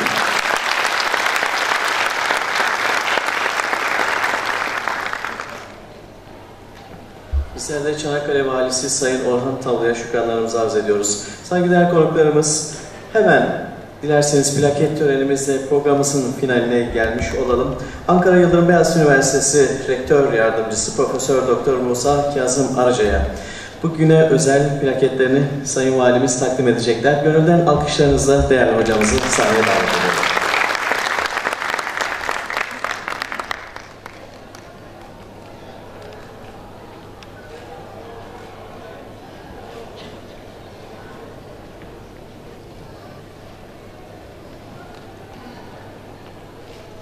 Evet, bugünün anısına hazırlanmış plaketlerini Sayın Valimiz takdim ediyor.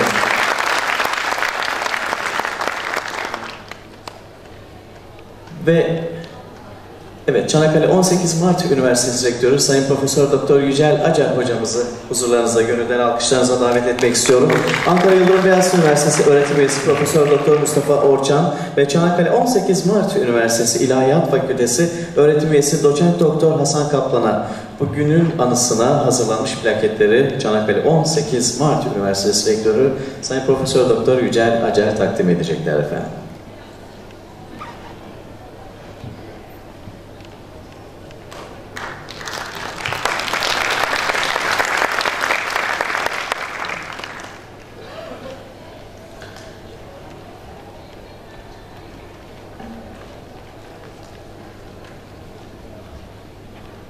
Doçent Doktor Hasan Kaplan'a plaketlerini takdim ediyorlar ve hemen akabinde yine bugünün anısına özel hazırlanmış hediyelerini yine arkadaşlarımızdan istirham edeceğiz. Takdim etmek üzere yine rektör hocamızdan istirham ediyoruz. Peki kime gidiyor? Ankara Yıldırım Beyazıt Üniversitesi Rektör Yardımcımız Profesör Doktor Musa Kazım Arıca hocamıza.